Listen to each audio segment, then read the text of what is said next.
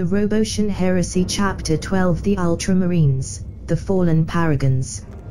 In the bygone days of the Great Crusade, the 13th Legion was a symbol of all that humanity could achieve, and the 500 worlds of Ultramar an example for all humans across the galaxy.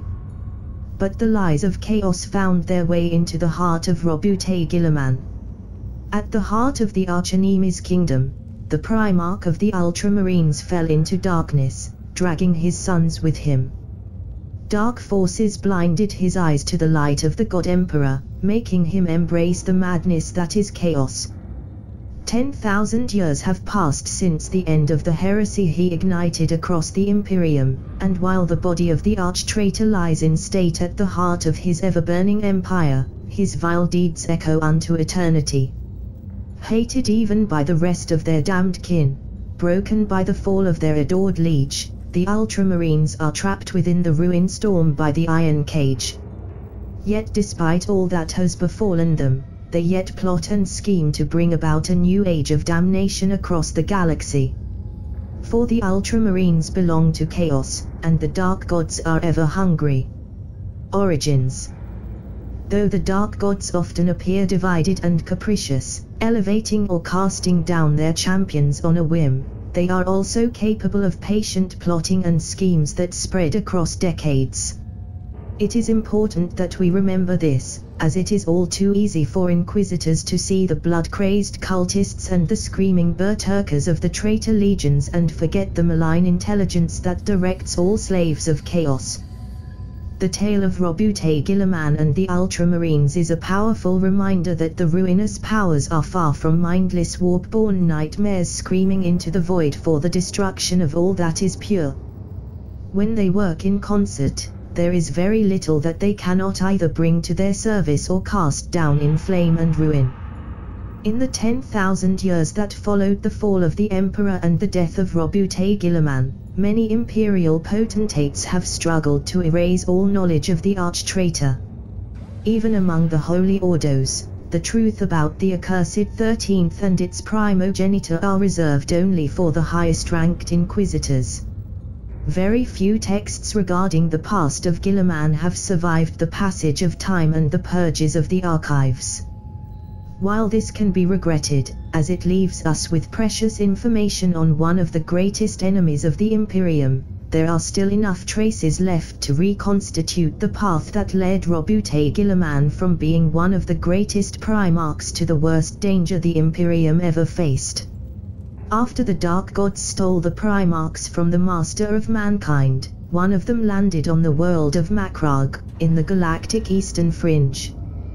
Once the seat of power in an empire that spanned hundreds of star systems, Macragge had endured the age of strife relatively well, though its galactic glory had long passed. Its people had managed to preserve much of the lore of the age of technology, and were even capable of short-range warp travel, which enabled them to keep in contact with a handful of other systems, the riches of the world were plentiful enough to prevent the ruthless exploitation that has ruined the ecosystem of so many worlds, and it was devoid of any native predators that could endanger its population. Still, the planet was divided between rival nations, and political and military feuds were common. There, the life pod was found by a group of noblemen on a hunting expedition. The leader of the group, named Connor Guilliman, recognized it as a piece of advanced technology, and when he saw the perfectly formed baby inside it, the unmarried, childless man decided to adopt him into his household. After bringing the child back to his estate in the city of Magna Macragge Civitas, the greatest power on the planet, he named him Roboute, and began raising him as his heir. What little is known about Roboute's foster father depicts him as an honorable man, dedicated to the people of Macragge and the prosperity of the kingdom to which he was one of two consuls, an office of supreme authority which was, to avoid the rise of a tyrant, shared by two men at all times. Under the best tutors his father's wealth and prestige could procure, the child quickly grew both strong and wise, learning all that others had taken years to master in a matter of weeks. But Connor's integrity was not shared by all his colleagues in the power structure of Macragge City, and as Roboute neared his 15th year, his father's co-consul, a man named Gallen, began to plot. Gallen knew of Roboute, and he feared the young giant's power even more than he feared Connor's political and military might.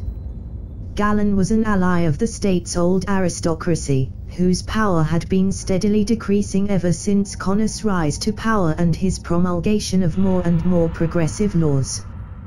These nobles, whose wealth rested on the near slavery of thousands of indentured workers, refused to see their centuries-old control of Macragge escape their grasp, but they did not dare strike while there was chance that Roboute might stand against them.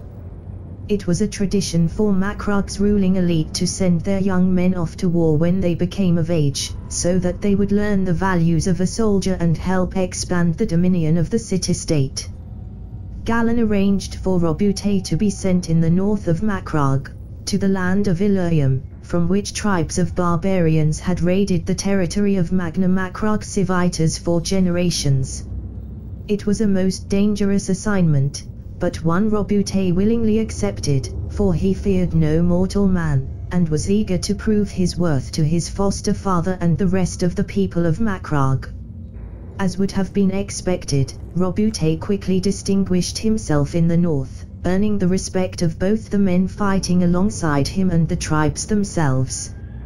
His fighting prowess was admired by the proud savages, and several tribes willingly submitted to him, joining side with those they had raided for centuries in return for the honor of fighting at the side of a warrior such as Roboute. Soon, a vast portion of Illyrium was under his control, and the leaders of the remaining tribes had called for negotiations in order to join this new province, rather than face him in battle. Roboute stopped mid-speech as the entrance to the tent was suddenly slapped open, admitting a man clad in pitted armor, his flesh pale and covered in sweat, with feverish eyes that locked onto the son of Connor at once. The supersensitive nose of the young lord could smell blood and smoke on the man, and his keen eyes noted that, beneath the armor which didn't really fit him, and bore more traces of blood, as if he had taken it from a corpse. The newcomer wore the tunic of one of Macragge City's messengers. The man stumbled toward him, the chieftains and sub-commanders instinctively giving him space. He finally crashed on his knees before Roboute, out of breath. Despite his obvious exertion, he forced himself to look up, and spoke words that would haunt Roboute for decades to come. The city is burning, your father needs you, my lord. But just as Guilliman was starting the meeting that would hopefully bring peace to a quadrant of the world that hadn't known it for centuries, word reached him from Macragge City. Civil war had broken out in the ancient city. Mobs were rampaging through the streets, the Senate had been burned to the ground, and Connor's estate was under attack. Enraged, Roboute postponed the negotiations and led his army, both the professional soldiers from the city and the warriors who had joined him in the north, back to Magna Macragge Civitas. After several weeks of travel at full speed, he found the city still burning, though more than two months had passed since the beginning of the hostilities. Forces loyal to the Republic were fighting against blood-crazed mobs and rebellious forces, but there were no lines of battle, no ordered regiments clashing against each other. For countless years, war on Macragge had been considered a science, even sometimes an art. Even the barbarian tribes of the north had their own savage code of honor, forbidding the murder of non-combatants and other depraved acts of war. Yet now the people saw the true face of that hideous beast.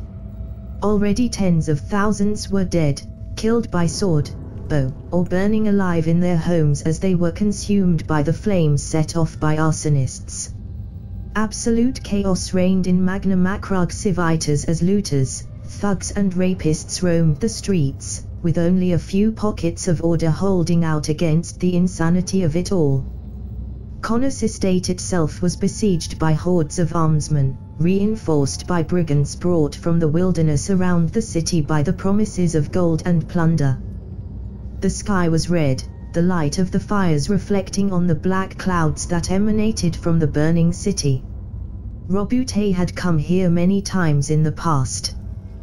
This place, atop one of the hills surrounding Magna Macragge Civitas, gave a view of the great city that had never failed to make him wonder at the magnificence that mankind had achieved on this world. Now, it showed him what had happened in his absence. The poorer quarters had suffered the worst most houses there were made of wood and not of stone, and the fires had spread the most quickly there. But the rich quarters had been the ones most targeted by the looters, and even now Roboute's ears could pick up the sounds of battle as the rioters fought what few survivors hid there as well as each other. The great rotunda, where the senators of Macragge had gathered for hundreds of years, had been reduced to fire-blackened rubble, and the great libraries were spitting clouds of ash into the night as the wind passed through their destroyed doors. And there was something more, something that tugged at his subconscious. Something that. The messenger. He had claimed to have left the city as soon as the rioting began, but upon seeing the extent of the desolation, Guilliman suddenly realized that the numbers didn't add up. They had rushed back here as fast as possible, killing many beasts of burden and leaving many of their slowest units behind in the process. Even a professional army, in full control of the streets, would have been unable to raze the colossal city in such a short time, and yet there was barely a building remaining standing in Magna Macragge Civitas. A cold sensation ran down his back as he contemplated matters darker than even the blackened sky, and he felt as if he could hear the sound of cruel laughter in the screams of the dying city. Enraged, Guilliman stormed through the city and toward his father's domain, tearing to pieces all who dared to try to stop him. Even as fury threatened to overcome him, however, he remembered his duty, and ordered his trusted commanders away from his own advance, tasking them with restoring order across the burning city. But it was far too late. The journey back to the city had taken too long. When he arrived to the estate, Roboute found nothing but burned out ruins, and the desecrated cadaver of his foster father. It is said that the young Primarch found the head of his father on a pike where the doors of the mansion had once stood, left there as one last insult to the man by his murderers.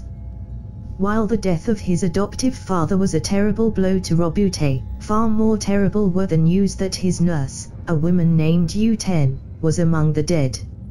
She was the one who had cared for him in the few years he had spent as a child, effectively his surrogate mother, a gift few of the Primarchs ever had.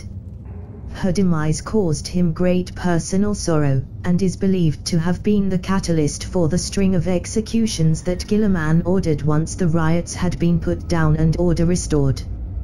Through thorough interrogation, some might say torture and point at this as the start of Guilliman's downfall. Though all members of the Inquisition deal in worse things at some point in their service without being consumed by the ruinous powers, Roboute quickly reconstructed what had happened. Galen and his cohorts had attempted to kill Connor at the Senate, after ensuring most of his guards would be busy dealing with the riots. They had known that Roboute's foster father would immediately send his men to quell the chaos in the streets rather than see to his own safety, and they had used his selflessness against him. Yet even so, they had failed at their assassination attempt, and Connor had managed to retreat to his estate. Then, while the nobles' armed troops clashed against each other, the drunken mobs had gone out of control, and the whole city had gone up in flames. Not a single one of the ringleaders behind the riots and the attack on Connor's estate was spared. They died not by the sword or poison, as was their right as noblemen, but hung like common criminals, in full view of the vengeful populace, who acclaimed Roboute as his father's successor and the rightful ruler of Macragge Civitas.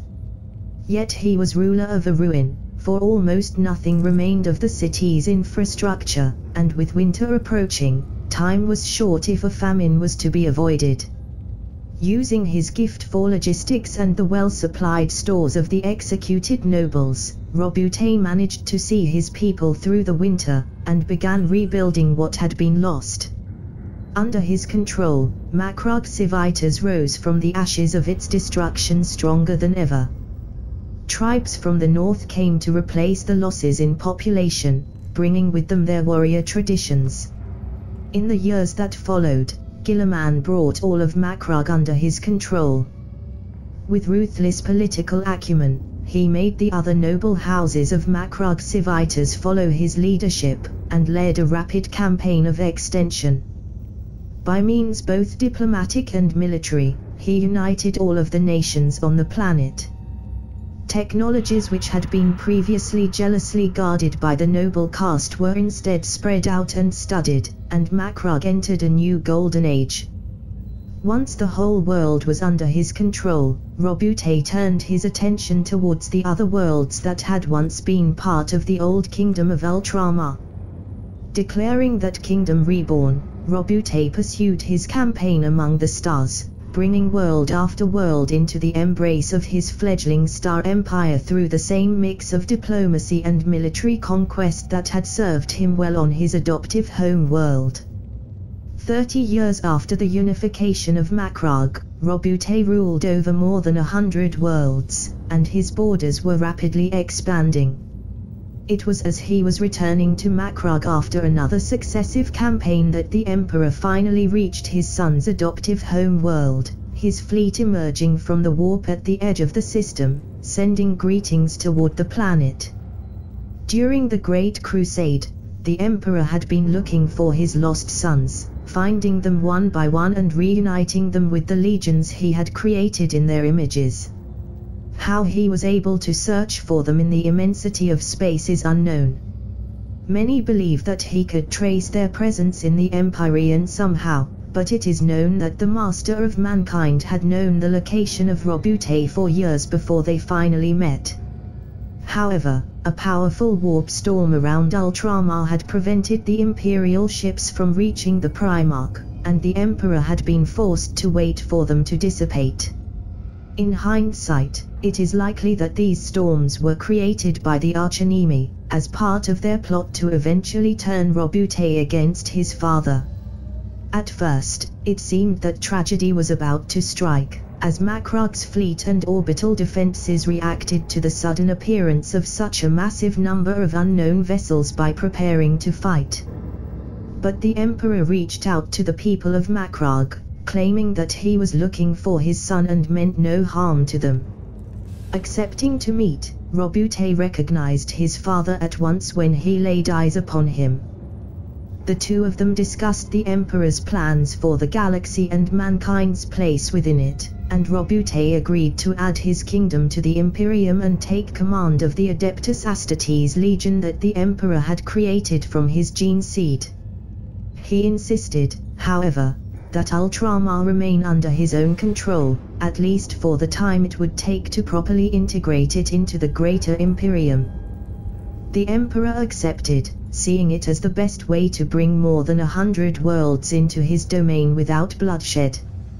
However, this acceptance would end up having dark consequences. The Great Crusade. You are more than warriors. Warriors fight for glory, for personal power and wealth at best, they fight for what they believe is right, forcing their own ideals upon those around them. You have sacrificed everything on the altar of mankind's destiny, to serve the ideals of the Great Crusade and help create the Imperium. You are part of a whole far greater than the sum of its parts. You are also more than soldiers. Soldiers fight because they had ordered to. Sometimes it is because they trust those giving them orders, other times because they have no choice but to obey or face punishment. But you follow me because my blood flows through your veins, and you follow your commanders because they are your brothers. Roboute Guilliman, upon taking command of the 13th Legion. Upon being reunited with his sons, Roboute named them the Ultramarines, in what many saw a sign of arrogance and dangerous provincialism. But the emperor allowed it, as a reward for what his son had achieved before being reunited with him, and that was the end of the argument. The first thing he did with his newly gained armies was to continue the expansion of the kingdom of Ultramar, learning how to best deploy Astartes while bringing world after world into the embrace of his galactic fiefdom. Under Guilliman's rule and with the aid of the Imperium's resources and technology, the 500 worlds became one of the most prosperous regions of the Imperium, bringing thousands of regiments of the Imperial Army to the Great Crusade. Like several other legions, the recruits used during the 13th's creation came from all over Terra but in their case, it was only geographically the case. While some other legions took aspirants from all ways of life, the 13th was formed of the children of these tribes which had resisted the unification the most harshly, often to the bitter end. Thousands of children were taken from the refugee camps where the last of these tribes' people remained, effectively condemning many of them to extinction. Though this might appear ruthless, this move ensured that the potential seeds of rebellion would be removed before they could grow, and integrate the vigor and warlike nature of these tribes into the Imperium's service. However, in hindsight, it might also have been one of the reason why so many veteran Ultramarines were ready to rebel against the Emperor. In the other traitor legions, most ancients opposed the rebellion, but that wasn't the case when the 13th was concerned. It is possible that, despite all the conditioning that was part of their induction, some part of them might have remembered the fate of their mortal families. Hatred feeds on itself, growing ever stronger as the grudges pass from one generation to the next. As Astartes, it is your duty to break that vicious cycle.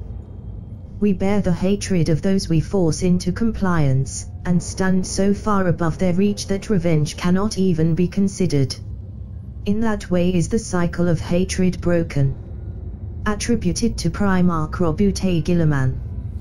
When Roboute took command, the flux of recruits began to come almost exclusively from Ultramar. The firsts to join the Legion were the descendants of the tribes that Guilliman had brought with him from the north when he had marched on Civitas. For decades, they had been his personal enforcers, those of his forces that he trusted above all, and they quickly proved themselves among the Ultramarines. The sheer size of the kingdom of Ultramar allowed the Ultramarines to have both quantity and quality in their recruits, and the numbers of the 13th Legion quickly soared even as their tally of victories continued to increase. However, a dark mood remained on the Legion. Guilliman knew that his sons still bore the scars of an event that had occurred before he took command, the Osiris Cluster Rebellion. A few years before Guilliman met the Emperor, the 13th Legion was deployed to the Osiris Cluster, where the human population, which had been peacefully integrated into the Imperium years before, had suddenly risen in rebellion. The Astartes had prepared a strike on the world of Septus 12 that would slay the leaders of the rebellion and hopefully force the rest of the population into submission. But when they launched their attack, they discovered the true nature of the Osiris cluster rebellion. The population hurled itself at the legionaries with dead eyes and makeshift weaponry, uncaring of the losses the space marines inflicted. While the legion's elite was locked in battle with an enemy that outnumbered them a 10,000 to 1, the true foe revealed itself as a fleet of hourglass-shaped Xenos warship entered the battle. The mind-controlling aliens that would come to be called the Osirian Cybrids had finally joined the fray the Osirian Cybrids. Many were the horrors of the long night, when the warp storms bred by the decadence of the Eldar Empire and the rise of psykers isolated human worlds from one another. During the Great Crusade, these ancient threats were crushed mercilessly beneath the Emperor's boot, but only at great cost. The Xenos life forms known as the Osirian Cybrids were one such threats, and their power was immense. The cybrids were tall but thin creatures, clad in biomechanical suits of armor that breathed a combination of gases toxic to any human. Their physical form was barely material, instead halfway between corporeal and gaseous. They communicated by telepathy, though no human psyche was ever able to understand their inhuman minds. Each of them possessed tremendous psychic power, which probably derivative from their diet, the living brains of sentient beings. They could break the will of most sentient beings, turning them into empty-minded puppets, and unleash warp fire upon those of their foes who could resist them. One shudders to imagine how a species with a diet such as the cybrids could come to evolve on any world of the galaxy, but despite the best efforts of the Imperium's researchers, their origin remains a mystery. When the Imperium encountered them during the Great Crusade, they were a nomadic species, living in their great void ships as they journeyed from world to world. To sate their appetite, the cybrids ravaged countless civilized planets. Each time their methods were the same, first, they brewed chaos and disorder among their prey through their mind control abilities. Then, once their target was weakened, they took a more direct approach, enslaving as many of the population as they could before revealing themselves. Those who could resist their influence, those with even a spark of psychic potential, were captured and brought to the Xenos ships, where their brains were the finest delicacy. It is unknown how many human worlds were lost to their depredation during the long night, as there is little to differentiate their atrocities from those of any number of other predatory species. But the cybrids did not only target humanity, all sentients were prey to them. Even the Eldar, who at the time ruled the galaxy with an unchallenged grip, lost some of their number to the Cybrids' hunger.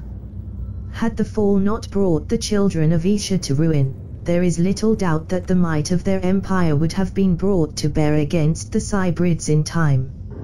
In the ensuing chaos, Lord Commander Gren Vossetho, the Legion Master of the 13th since its foundation, had been slain, alongside most of the Legion's veterans. The chain of command was decimated, and young Chapter Master Marius Gage ended up in command. He ordered a withdrawal from the Septus system, but the Osirian Cybrids still had an ace in the hole, the brainwashed forces of the Imperial Navy in the cluster, which ambushed the retreating legionary vessels. By the time the 13th reached safe territory, almost a third of its forces had been lost in the most devastating defeat ever suffered by a legion at this point in time.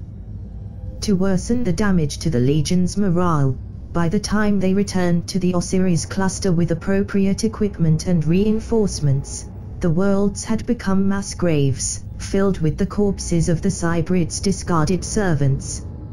Ever since that disaster, the 13th Legion had been seeking the Osirian Cybrids, thirsting for revenge. But despite all the resources at their disposal, their search had been in vain, and the sense of humiliation festered in their hearts, breeding shame and anger. The Primarch of the Ultramarines knew that the only way his sons could be purged of their past was to find and destroy the Cybrids once and for all. Finding the Xenos was part of that goal, but it would only be of use if they had a plan to destroy the creatures. So Roboute threw himself into the study of what little was known of the Osirian Cybrids. A handful of corpses had been collected in the Battle of Septus 12, and with the Primarch's authority, they were released from the Mechanicum's care to be studied in person by the Legion's father. From these lifeless bodies, the Primarch deduced the likeliest way their minds worked, and from the tactical data, he extrapolated their reasoning and cultural bias.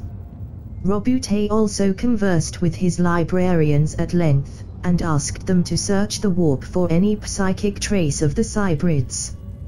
Finally, soon after the reunification of the 500 worlds was completed, a lead presented itself, the Cybrids had been seen in the Eurydice system, where a force of the 12th Legion had been battling the orcs which had come from a nearby orc empire to raid and destroy imperial settlements. An astropathic message from the Warhound's commander, cut short by warp interference, warned the Imperium of the appearance of the telltale hourglass-shaped ships, and asked for reinforcements. The full might of the Ultramarines was gathered to answer that call for help, though the sons of Guilliman gave little thought for their cousin's fate, so obsessed were they with the prospect of avenging their dead at last. When they arrived, they found that the Cybrids had come to the system to enslave the Orcs, and had already managed to seize control of nearly half of the present Waaagh.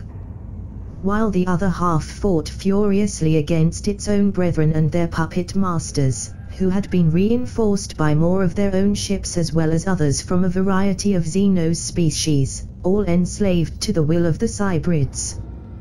The whole system was filled with warships fighting one another, the Orcs showing surprising cohesion when faced with the Cybrids' threat.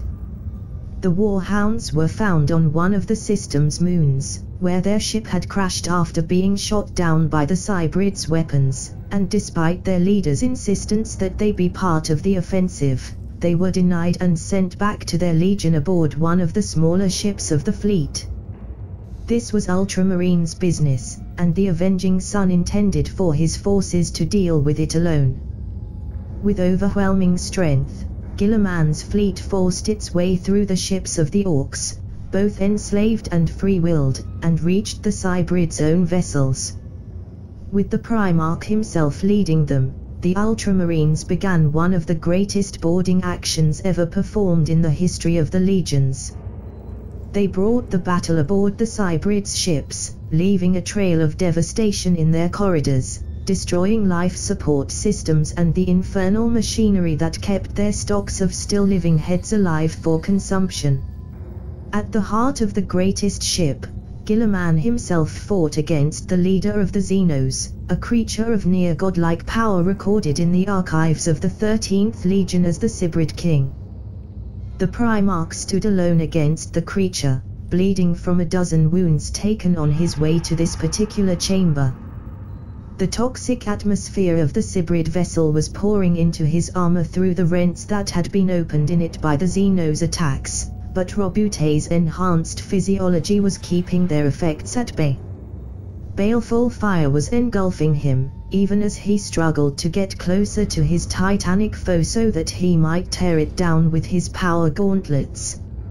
Each step closer to the creature was more agonizing than the last, and he could feel the heat spreading through his body as his metabolism worked overtime to repair the damage to his flesh almost as soon as it was inflicted. But despite his defiance, despite the fact that would not could not stop, the bitter truth remained obvious. He couldn't defeat the Cybrid King. Unlike his brother Magnus, his talents laid not in warpcraft, but in tactics and logistics, and they were useless to him now. His warriors had been killed on his way to this place where he had deduced the enemy leader must be, his handful of librarians slain one by one by the alien's superior psychic might. Alone, with nothing to shield him from the creature's powers, he could feel even his mind begin to buckle under the pressure of the Cybrid King's mental assault. He needed power, power of a more brutal, direct kind than that which he already possessed. He needed. Something burst in his mind, like some dam finally breaking, releasing a great flood that had so far been contained. With a scream of agony, twin arcs of blue lightning shot out of the Primarch's eyes, encompassing his body in a protective bubble that repulsed the Xenos' attacks. With a roar of primal pain and fury, Roboute resumed his charge, and the two gauntlets of Ultramar pierced right through the ethereal body of the Cybrid King, killing the creature instantly. As its corpse tumbled to the floor, Roboute fell to his knees, his hands raised to cover his face while his mind whirled with the implications of what had just happened. And even as he considered what to do now, he heard, as if from a great distance, a familiar laughter. After the death of the Cybrid king, The rest of the Osirian Xenos quickly succumbed, many of them struck down by some Psychical as their leader fell. As the Ultramarines returned to their ships, the Xenos vessels were bombarded relentlessly for hours, the whole fleet on the lookout for any escape craft trying to flee the devastation. Once no life sign remained in the Osirian vessels, Guilliman ordered them to be dragged and thrown into the system's star, erasing any trace of the creature's existence. Even as they executed the orders of their liege, the Ultramarines felt the wound on their pride heal as their hated foe was not just defeated, but utterly exterminated. When they fell upon the remaining orcs, it was with a vigor and a sense of purpose they had not known since the Battle of Septus 12. Their victory after so long brooding over their losses at the Cybrids' hands reinforced the loyalty and esteem of the 13th for its Primarch considerably. Thousands of Ultramarines died in the operation, but the threat of the Osirian Cybrids was wiped out forever. There has never been any contact with Cybrid survivors since the Battle of Eurydice. That event left a mark on Roboute. He had witnessed the true horror that the Emperor sought to protect mankind from with the construction of the Imperium, as well as the power lurking within the warp. Determined that his legion would be capable of fighting such threats in the future, he gave greater importance to the Librium of the Ultramarines, increasing its size and the authority of its members. With the honor of the 13th Legion restored by the Cybrids' extermination, the Ultramarines returned to the Great Crusade with renewed fervor, determined to prove their worth to the Gene-sire that had wiped out their shame. In the following decades, thousands of worlds were reclaimed by the sons of Guilliman, often with little civilian losses. Guilliman's mastery of diplomacy was passed on to his legion, and most chapter masters of the Ultramarines thought it their duty to only use strength to bring compliance to a human world when all other options had already failed. Though this method took more time than outright conquest, the sheer number of Ultramarines in existence allowed the Legion to accumulate a tally of compliances few others could match. Many in the Imperium saw the Ultramarines as the greatest of the Space Marines legions, the one embodying the ideals of the Great Crusade above all others. Of course, none were foolish enough to say so where other legionaries could hear them, but the Ultramarines were aware of their standing and some of them flaunted it in the face of their cousins. When Alpharius was found and the Alpha Legion joined the Great Crusade openly, it is said the Guilliman mocked his youngest brother by claiming that Alpharius would never be able to match his own tally of conquests. This humiliation is believed to have been the cause for Alpharius turning to darker methods of conquest, until Konrad Curze set him back on the right path.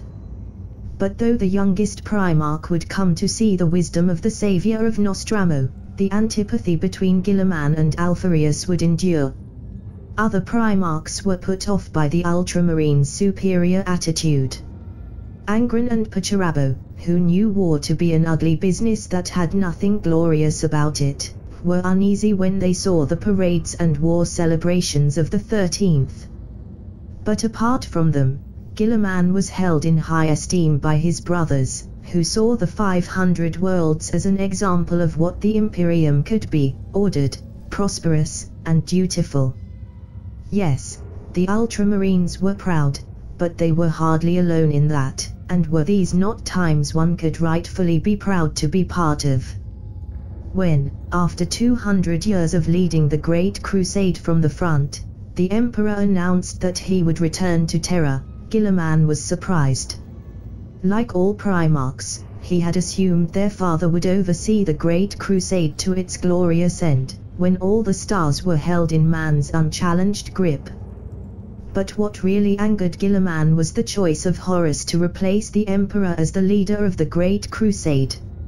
Roboute respected and loved his brother as was said many times, it was impossible not to love Horus. But he saw the first Primarch as more of a champion, a being of great power and grandeur that was suited to win epic victories, but less suited to the management of thousands of smaller operations at the same time. Roboute believed that he would have been a better choice as the War Master, and he made his opinion known during the triumph of Ullanor. Still, the Emperor didn't budge on his choice, and Guilliman reluctantly bowed to his father's decision. Though the conflict between Guilliman and his father had occurred in private, the avenging son still felt humiliated by Horus being elevated above him. While submitting his legion to Horus' authority, Guilliman chose to take his own personal force, the 12th Expeditionary Fleet, on a journey to unknown space, away from Horus' control. The War Master authorized it, believing that his brother merely needed time for his anger to cool off and the wound to his pride to heal. But neither of the two Primarchs knew just where Guilliman's travels would lead him, to the very gates of hell, and beyond for Guilliman had set course toward the uncharted regions of the galactic core, and his path would bring him to the ill-famed world of Cadia. The Shadow of Cadia. Cadia, the Gate of Hell. First discovered by mankind during the first Exodus, Cadia stands at the threshold of the spatial anomaly known across the entire galaxy as the Eye of Terror. Its skies are tainted violet by the nearness of the warp storm, and any human born on the planet's ground has pupils of the same color, even if the mother arrived on the world literally minutes before giving birth. After decades of experiments, the Inquisition has concluded that this mutation does not damage the soul of the carriers in any way. However, Cadia's human population is also subject to a rate of mutation far superior to that observed in the rest of the Emperor's domain, even on the other worlds forming the Iron Cages. Qadia sits in the path of the only known stable warp route out of the Eye of Terror. While there are countless other paths out of this cesspool of damnation, all of them are either unstable, temporary, too small for a fleet to pass through, or any combination of the three. The only way for a united fleet to leave the Eye of Terror and unleash a black crusade upon the galaxy is through the Cadian Gate. For that reason, the planet is the crown of the iron cage surrounding the Eye. Thousands of iron warriors and hundreds of thousands of Imperial Guardsmen defend it at all times and not a single year passes without at least one engagement, either against Chaos Raiders attempting to slip through, or against one of the many cults on the planet itself. A dozen Inquisitors of the Ordo Hereticus are permanently stationed on the planet, but even they struggle to prevent heresy from engulfing the world. By all rights, the planet should have been engulfed into the Eye of Terror long ago. It is believed that the reason why it remains in real space is the thousands of pylons of unknown origin that are scattered across its surface. One kilometer tall and half buried beneath the planet's surface, these devices keep the tide of the warp at bay, but cannot stop its influence completely. The Ordo Xenos has studied them for centuries, but does not dare perform experiments that could disturb them and risk the loss of Cadia to the tides of the eye. Despite centuries of investigation, there is only one known account of what happened when the 12th Expeditionary Fleet arrived in the Cadian system. As was only fitting for an expeditionary fleet commanded by a Primarch, many remembrancers accompanied the 12th, and one of them wrote his, or her, for we have never uncovered the Remembrancer's identity, version of the events. In later years, when the galaxy burned with the first of Roboute's heresy, this text would be leaked to the Imperium, casting some light over the events that led to Guilliman's fall to chaos. Through this text and the Thousand Sons divinations, it has been possible to reconstitute most of what happened. No one knows what motivated Guilliman's decision to go to the galactic core, out of the hundreds of destination he could have picked that would have put him out of Horus' reach.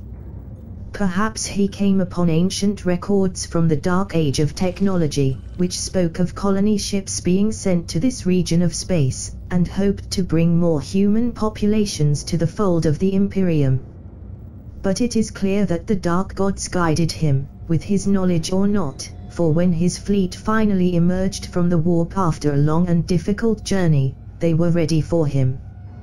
Cadia had become infested with creatures from the warp, which had all but entirely consumed the planet's human population. The moment the Geller fields of the fleet went down, astropaths and librarians alike began to scream as they sensed the evil that had overwhelmed the planet. They had met such things before, during the Great Crusade, on worlds where alpha-level psykers had lost control of their powers and burst apart, creating gateways into the warp from which psychic predators emerged. Cadia was a world of abominations, and Guilliman ordered his fleet to advance toward the planet so that it might be purged from orbit. The humans that remained on the world couldn't be saved, there were literally billions of warp-born creatures on Cadia but the Ultramarines could at least put them out of their misery. However, even as the fleet prepared to enact Exterminatus, another fleet appeared in the system, far beyond the Mandeville point and right in the middle of the Imperial formation, outnumbering the hundred vessels Guilliman had brought with him almost three to one. These ships were twisted horrors, ancient hulks from a dozen cultures lost to the warp over the ages and reshaped by the dark powers that dwell there. According to the psychically sensitives among the Imperial fleet, they were crewed not by mortal beings, but by creatures from the Empyrean. Their weapons didn't fire shells of metal or rays of laser, but the unholy energies of the warp and swarms of void-flying Neverborn. Immediately after their appearance, they engaged the Ultramarines and their allies. Guilliman reacted quickly to this new threat, commanding his fleet to move against the abominations in their midst, devising patterns of attacks on the fly. But the Daemon ships could jump in and out of the warp at will, avoiding being surrounded and making the usual approach of the Ultramarines to void warfare completely irrelevant. Then, the Daemon ships sent boarding parties on the Imperial vessels, destroying many of them when their Astartes guardians failed to protect the vital sections of their ships. Even as Guilliman was fighting against the Neverborn which had manifested aboard his flagship, the Macragge's Honor, he directed his fleet, somehow figuring out the patterns in the warp-born armada's vanishing tricks. He commanded his ships to fire at empty space, only for the shells to hit straight into Daemon ships that had just rematerialized. That laugh, thought the Primarch. I know that laugh. The leering voice of the creature came from everywhere and nowhere as Guilliman fought his way across the sea of twisted flesh and malformed bones. It echoed in his skull and burned his soul. Yes, Roboute. It is I. Do you remember me? When last we spoke, I was disguised as one of your mortal servants, warning you about all that you had lost. The look on your face when you learned about it was priceless. Roboute tried to locate the origin of the voice even as he continued to advance through the ocean of warp-born beings. Despite his inhuman hearing, he failed, the voice registered to his senses as if coming from every shadow around him. It was so easy. I whispered in their ears, telling them what they wanted to hear, and they listened. They were so eager, so hungry for power and wealth, like all humans. I spurred their instincts, drove the beast within all of them into a frenzy, in the end, I didn't even have to force any of their hands. They did it all willingly, while you were fighting to protect them. The third one you had executed, do you remember him? I must confess, I forgot his name. But I remember that he was the one who killed that pitiful creature you called a mother. You will die for this, the Primarch growled as he crushed another creature with the gauntlets of Ultramar. And before that, you will suffer. I swear it. Name yourself and face me, demon. After near half the Daemon ships had been reduced to flaming hulks of corrupted steel and tainted flesh, the entity commanding the demonic armada made itself known to the Primarch. Reaching through the warp to touch Guilliman's mind, it presented itself as Be'lakor, firstborn son of Chaos and Master of Shadows. Be'lakor, the Master of Shadows. Little is known of the demon prince that claims the name of Be'lakor, even by the highest echelons of the Ordo Malus and the Hallowed Grey Knights. Those who attempt to investigate his nature are often discovered insane, dead in their studies, or simply vanish and are never heard of again, all of their research gone or destroyed. What little lore has been preserved remains on Titan, beyond even the reach of the self-proclaimed Master of Shadows. Be'lakor is incredibly ancient, even by the standards of immortal daemons. Traces of his influence have been found in the ruins of alien civilizations that went extinct millennia before mankind first left Terra, and it probably isn't a coincidence that they died out soon after the Master of Shadows reached out to them. He is even believed to be the first demon prince, the first sentient being to have ever been transformed by the dark gods, shedding his mortality to become an immortal lord of the warp. According to this theory, he was elevated by the four ruinous powers in concert, and for a time used the fact that he was the only one of his kind at his advantage, gaining more and more power in return for the services he performed for the dark gods. But soon, as is their way, the dark gods grew bored and sought new toys, toys which would be wholly theirs, and not shared with their brothers. They elevated new demon princes, and Be'lakor power waned as the energies of ruin were no longer condensed within a single vessel. Despite this weakening of his powers, Be'lakor remains one of the most powerful demon princes in existence, Jealous of those who have replaced him in the dark god's esteem, he seeks to regain his power of old, to be once more raised above all other servants of chaos as their unquestioned master. His pride is truly monstrous, and on more than one occasion it has proven to be his undoing. The greatest lords of the Ordo Malus, those who know of this creature's existence, eyes that the dark gods have in truth abandoned their once champion, discarding him like so many other proud lords of chaos. Ever since the part Be'lakor took in the fall of Guilliman, he had been a thorn in the side of the Imperium. But there are also been recorded occurrences of him acting against the interest of chaos, especially when the Ultramarines are concerned. He takes a great pleasure in slaying the champions of the chaos gods among them, proving his superiority over the scions of the one who was chosen over him as the supreme leader of chaos during the heresy. It is most likely that he remembers his fate at the arch-traitor's hand, and still seeks to avenge himself upon all of Guilliman's progeny, proving once again that one of the Imperium's greatest assets in the war against chaos is the division in its ranks. Be'lakor revealed to Guilliman that he had been the one behind the eruption of civil war on Macragge which had led to the death of the Primarch's foster family, decades ago, and taunted Guilliman over his powerlessness to prevent it. He even claimed that the soul of both Konor and Euten were in his grasp, and that he drew both power and amusement from their eternal torment. Enraged beyond measure, the avenging son vowed to destroy the creature, only for the Master of Shadows to withdraw his forces back through the Cadian Gate and into the Eye of Terror, daring Guilliman to follow. It is unknown whether Guilliman's next decision was entirely motivated by rage and sorrow.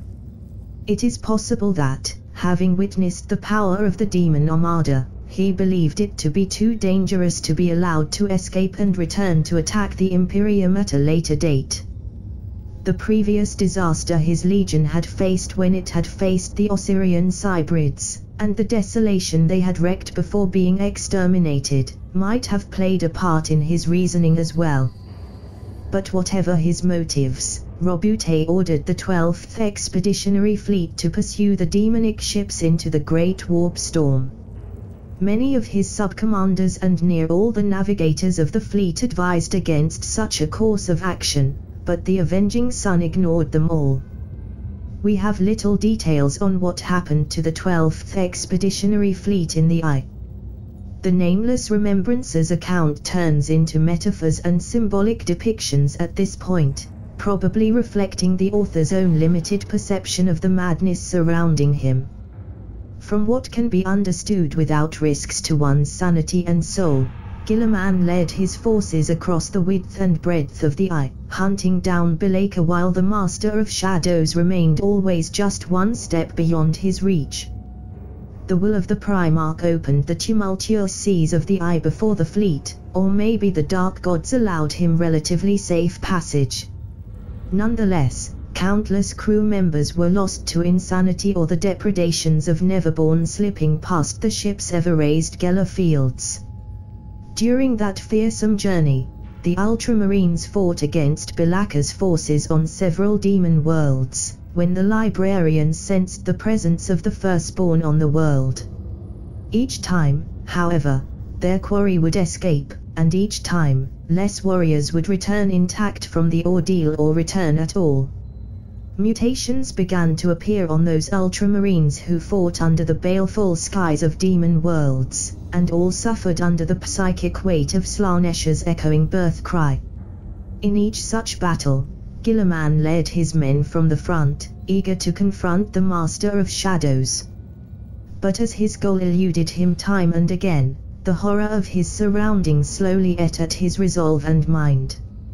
Entire subjective years passed between each battle, and still Guilliman fought, his sons following him loyally despite their increasing losses, convinced that the evil they were pursuing could not be allowed to exist. Walking the graveyard of the Eldar Empire, Roboute came to learn the secret of the fall, how, through their indulgence and excess, the children of Isha had created a god that consumed their souls when it awoke. He saw indisputable proof of the existence of the dark gods and their legions of daemons, contrary to what the imperial truth claimed. He was also shown visions of the Imperium's future, where the ideals of the Great Crusade had been abandoned in favor of totalitarian oppression and the rule of unworthy souls in the name of a distant emperor, a future where all traces of Guilliman's own legacy had been erased. So it was that, as he pursued the tormentor of his foster parent's soul in the underworld, Roboute Guilliman began to believe that the Emperor had lied to his sons. That the glorious future he had promised for mankind, one free of the shackles of faith and tyranny alike, was a lie. Slipping further and further into madness, Guilliman came to believe that as things stood, there were only two possible paths for mankind. Either it would be destroyed in the manner of the Eldar, when uncontrolled psychic power gave birth to a new primordial entity, or all humans would be caged, their souls kept from shining too brightly through dictatorship in order to prevent them from creating this same entity. The Primarch thought that this latter path was the one his father intended for mankind, and though it repulsed him, Guilliman admitted to himself that it was better than the alternative. It disgusted him that mankind would have to return to primitive superstition so that it might survive, abandoning the vision of reason that governed the current age for the protection of ignorance. But then, just as his faith in his father was vacillating, the dark gods reached out to Guilliman and offered him a third option. As he was fighting yet again Be'lakor's armies, they presented him with another path. Mankind could master the powers of the warp, they whispered. Humans could follow the path that the Eldar had been too cowardly to thread, and become the junction between the Empyrean and the Materium, shedding their mortal flesh to ascend into immortality and godly power. All Guilliman had to do was replace his father on the Golden Throne and direct mankind down that path. Guilliman's decision to turn against his father wasn't immediate. In the long hours of the battle, his mind wandered, and the Primarch was torn between what seemed to him like two equally ignoble paths.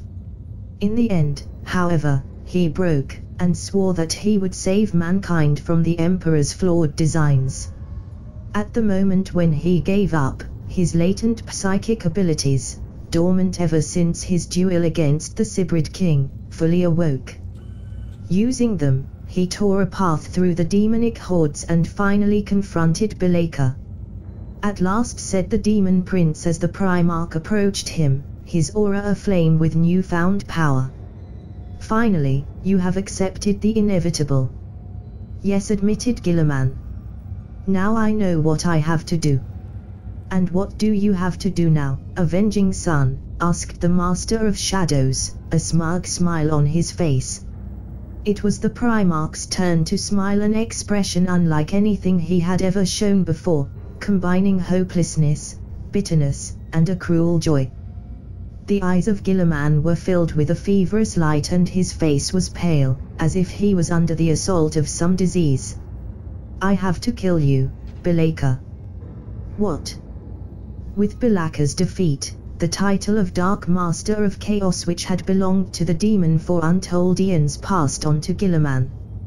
Immediately, the Neverborn legions that had been fighting the Ultramarines either fell to their knees in obedience or disappeared back into the ether.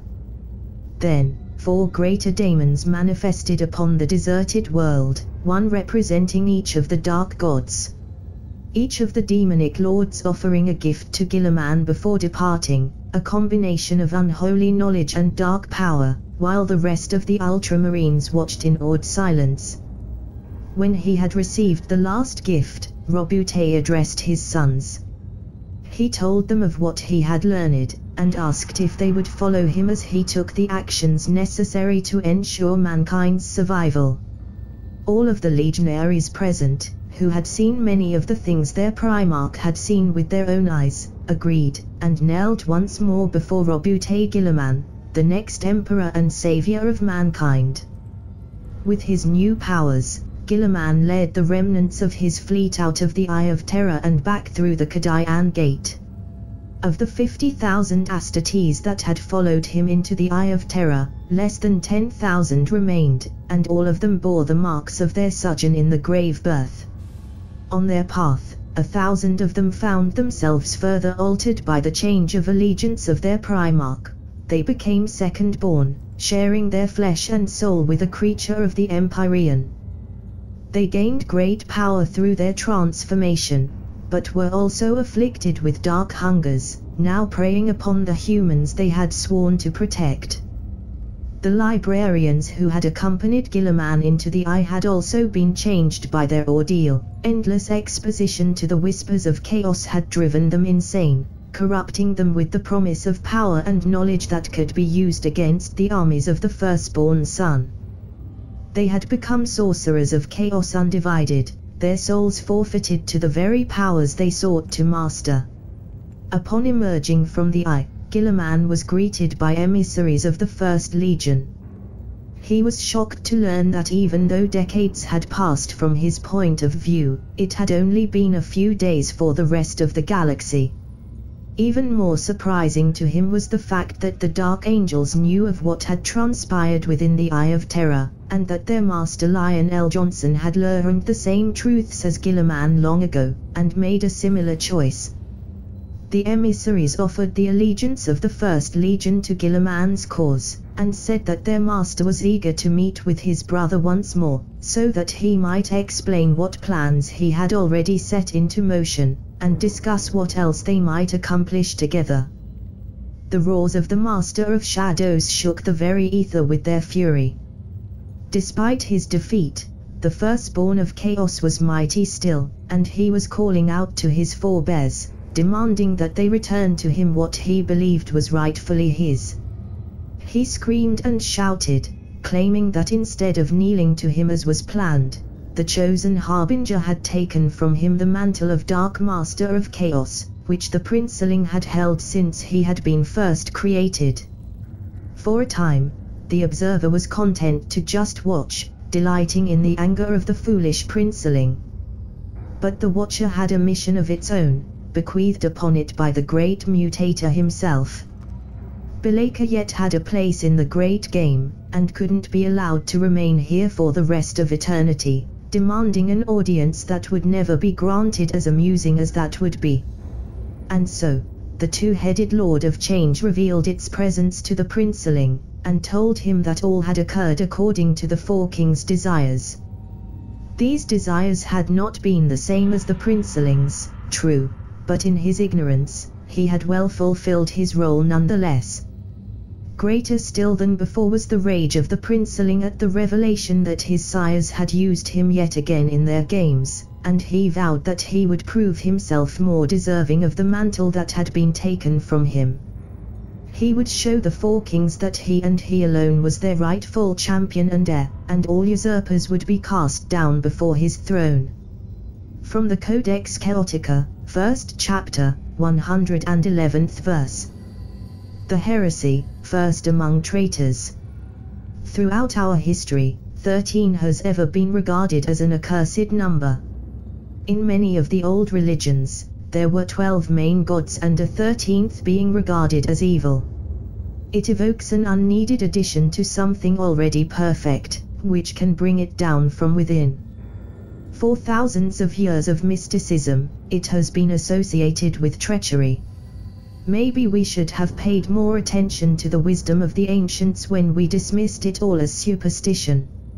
Attributed to the Primarch Magnus. In the following years, the Primarch of the Ultramarines worked alongside his brother of the First Legion to prepare the ground for the heresy. Though Guilliman was wholly turned to chaos by the time he returned from the Eye of Terror, he knew that he couldn't turn openly against his father yet even with the Dark Angels at his side. He was held in high regard among the Imperium's armies, but he held no formal authority greater than that of his brothers, and few would follow him in outright rebellion. He needed to gather allies, and to make sure that his own legion would obey his orders when the time came. Those who had come with him to Cadia and into the Eye of Terror would obey his every command but the bulk of the Ultramarines were dispersed across the galaxy, still ignorant of their Primarch's transformation. They had to be brought into the fold, and those who wouldn't accept the new truth of the 13th Legion would need to be taken care of.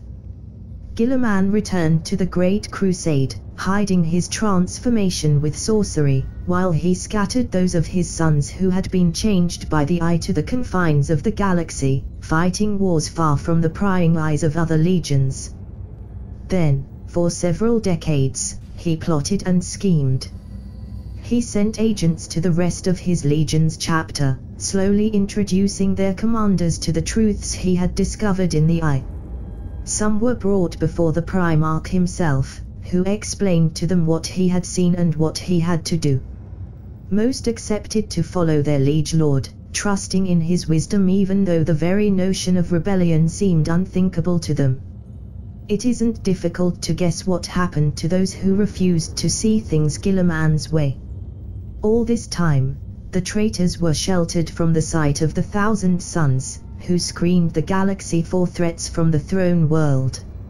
A resurgence in warp storms had occluded much of the galaxy, making warp travel longer and even more dangerous, Whole expeditionary fleets were lost to the Sea of Souls with all hands, though some of them later reappeared under the Arch-Traitor's banner. Guilliman must have spirited them away as he massed forces, or perhaps they were driven mad by their time in the warp and came to embrace chaos on their own. In secret, Guilliman ordered his apothecaries and genesmiths to increase the numbers of his warriors even further. At that point in time, the Ultramarines were already one of the most numerous legions, with only the Raven Guard being undoubtedly superior in numbers, if not in quality.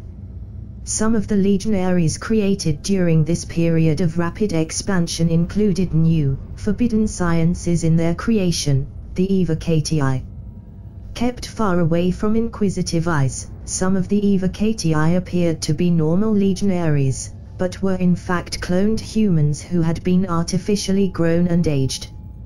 Others had their genetics mixed with those of alien species with powerful abilities, or even combined with the dark science of the warp. These warriors were often little more than puppets, capable of following orders with discipline and efficiency, but utterly lacking in initiative, and appearing to the perceptions of librarians as psychic blanks in the Sea of Souls. It is rumored that a handful of Eva Evocati were created with the Pariah gene, in order to deploy them against loyalist librarians but no trustworthy record of such abominable creature exists. It is believed that Guilliman secretly pushed his brothers to denounce Magnus as an heretical sorcerer, provoking the emperor to order the Council of Nikaea. The arch-traitor didn't know what exactly his father's judgment would be, but was confident that he could use it to his advantage either way. If the emperor allowed the Thousand Sons to continue their practices, it would drive the Wolf King in opposition to him, and if he rebuked the sons of Magnus, they in turn might become vulnerable to Guilliman's persuasion. Given the important part that the 15th Legion played in protecting Terra against the sorcery of the Dark Angels during the heresy, it is clear that the Emperor's ultimate decision was the correct one, even if it did cost a lot. The Spinium Coronum. More commonly called the Crown of Thorns in Lower Gothic, this organization is a foul legacy of the arch-traitor that had plagued the Imperium for 10,000 years. When Guilliman was planning his betrayal, he knew that not all of the Imperium would follow him, and he also knew perhaps better than any other Primarch that there was more to the strength of the Imperium than the might of its armies. Over the years, he infiltrated agents into the Administratum and other organizations of the Imperium. Trained directly under him in the arts of deceit and minor sorcery, they were to weaken the Imperium from within, helping to usher in the ultimate victory of the traitor legions. Through murder, misinformation, and sabotage, these thorns caused untold damage during the heresy. However, their existence didn't end when their master fell. Every original member of the Spinium Coronum was fanatically devoted to the arch-traitor, and they continued their mission even after his death. Guilliman had planned that the heresy might last several human generations, and ordered his agents to train apprentices one per agent that would in time replace their master. Over the millennia, these chains of master-apprentice have endured, though many have been discovered by the Inquisition and destroyed. Seven times already the whole organization has been believed extinct, only for another of its infamous lineages to be discovered decades or even centuries later. Guilliman also had a hand in the downfall of other legions. He sabotaged the White Scar's efforts in the Chondax system and turned the powers of the warp against the Khan and his sons. He set Sanguinius on the path to Signus Prime, after having arranged for the Angel to find the system in the hands of his never-born allies. The true scope of Guilliman's part in his brother's corruption may never be fully revealed, but when he believed half of the legions would stand at his side, he activated the next phase of his plan. He called his corrupt brothers to him, and they prepared for the event that would spark the heresy, the Isstvan atrocity. The Ultramarines sent thousands of their own to Isstvan III. Each of the warriors had been unknowingly condemned to death by his superiors, for it was believed that he wouldn't follow the orders of their Primarch when Guilliman ordered his men to turn against the Emperor. Marked for censure, ostensibly for defiance against orders or any other petty reason, the betrayed sons of Guilliman were told that Isstvan was to be their redemption. By obeying their deployment orders to the letter and prosecuting the campaign against the rebels in the exact manner Guilliman and the other Primarchs had planned, they would prove that they had learned from their mistakes. Because of this, a far greater portion of Ultramarines was exposed when the first bombs fell, and very few of the Loyalist 13th survived the first seconds of the battle for Isstvan III. Those who did, however, found a leader worthy of legends in the person of Ian Ithiel. Ian Ithiel, Lord of the Red Mark. The Space Marines who were marked to die on Isstvan III were all honorable warriors, whom their corrupt primarchs knew wouldn't mm. follow them into treachery. All Astartes of today honor the memory of the few whose names are known to us, yet few of these heroes are as famous as Ian Ithiel. A sergeant of the 13th Legion, he was known to challenge his superiors' decisions, more often than not making excellent points as to why their actions were erroneous. Despite his skill in battle and deep instinct for tactics, this attitude prevented his further rise in the ranks. When the captains and chapter masters received the order of listing those of their men whom they thought weren't trustworthy, somehow failing to notice the obvious irony in such a command, it was with a certain satisfaction that Thiel's superior officer marked him down. Like all ultramarines deployed on Isstvan III, Thiel wore the red mark, his helmet was painted in red as a sign of his censure. By then, every legion knew that those of the 13th with a red helmet had somehow disgraced themselves, and the members of the Blood Angels, Imperial Fists and Iron Hands deployed on the planet questioned why all the forces of the Ultramarines whose Primarch was ostensibly the one leading the whole operation were composed solely of such warriors. But they didn't suspect the truth until the first bombs fell, and can hardly be blamed for it. Like hundreds of others, Thiel survived the initial bombardment of Isstvan III, taking shelter in the city's catacombs while fire scoured its surface. When he and his brothers emerged, the full realization of their father's and brother's betrayal hit them. While captains fell to their knees in despair, Thiel managed to keep his wits, focusing all the might of the soul-searing hatred he now felt for his erstwhile comrades on the prosecution of his duty. The rest of the loyalist ultramarines gathered around him, and they exacted a heavy toll of treacherous lives during the battles that followed on Isstvan III. Using unconventional tactics and daring stratagems, Thiel and his men achieved kill ratios never seen before during the Great Crusade, and rarely equaled during the Heresy. Thiel himself slew several champions of the four traitor legions present at Isstvan III, including his own former commanding officer. What truly sets Leonid Thiel apart from the rest of his fellow Isstvanian heroes is that, unlike most of them, he actually survived the battle. During the final days of the Loyalist resistance, the leaders of the faithful decided that one of them had to survive, to escape the world so that the fight would continue and the galaxy would remember that not all sons of the traitor Primarchs had followed their fathers into rebellion.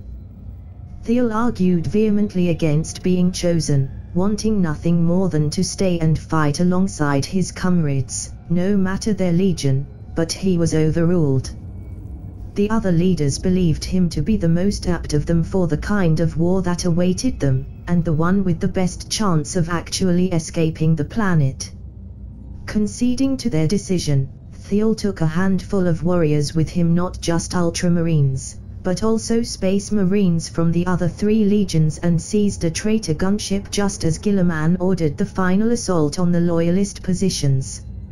In orbit, the 20 legionaries captured a small traitor ship and, through the techno-expertise of the Iron Hands among them, they slipped away from the rest of the fleet and vanished into the warp.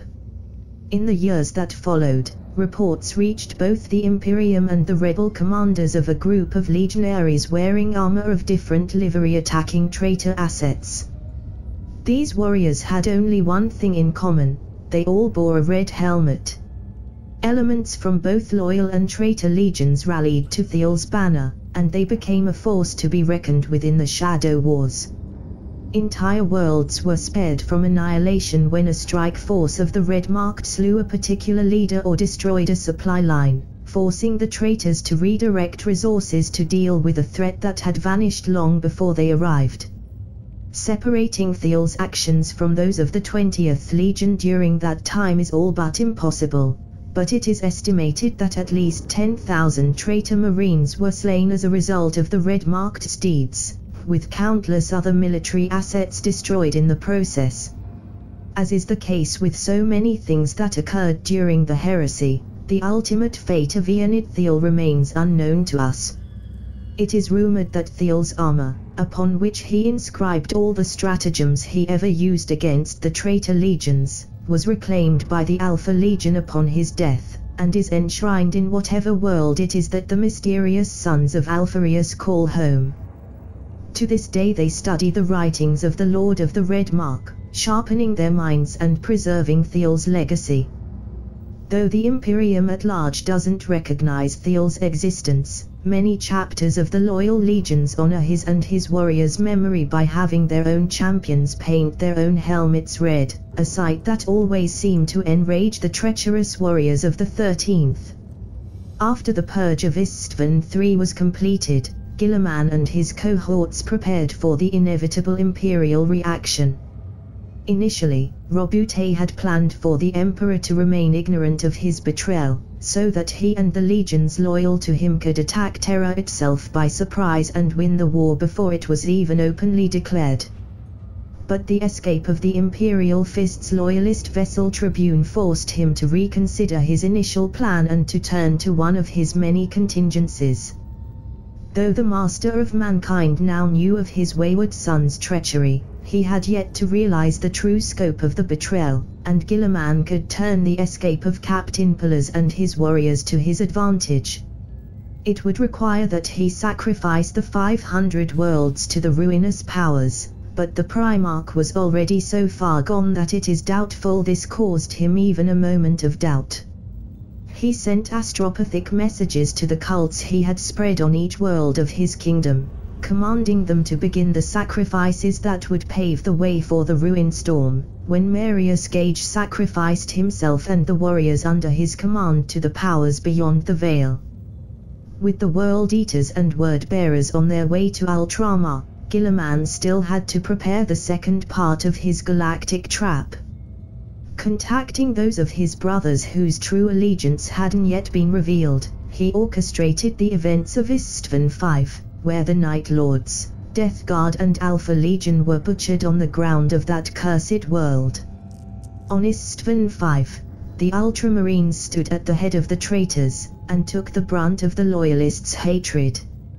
It was in this battle that, for the first time, Guilliman unleashed the thousand warriors who had been possessed by daemons on their way out of the Eye of Terror, the Demonium Venatress, the demonic hunters.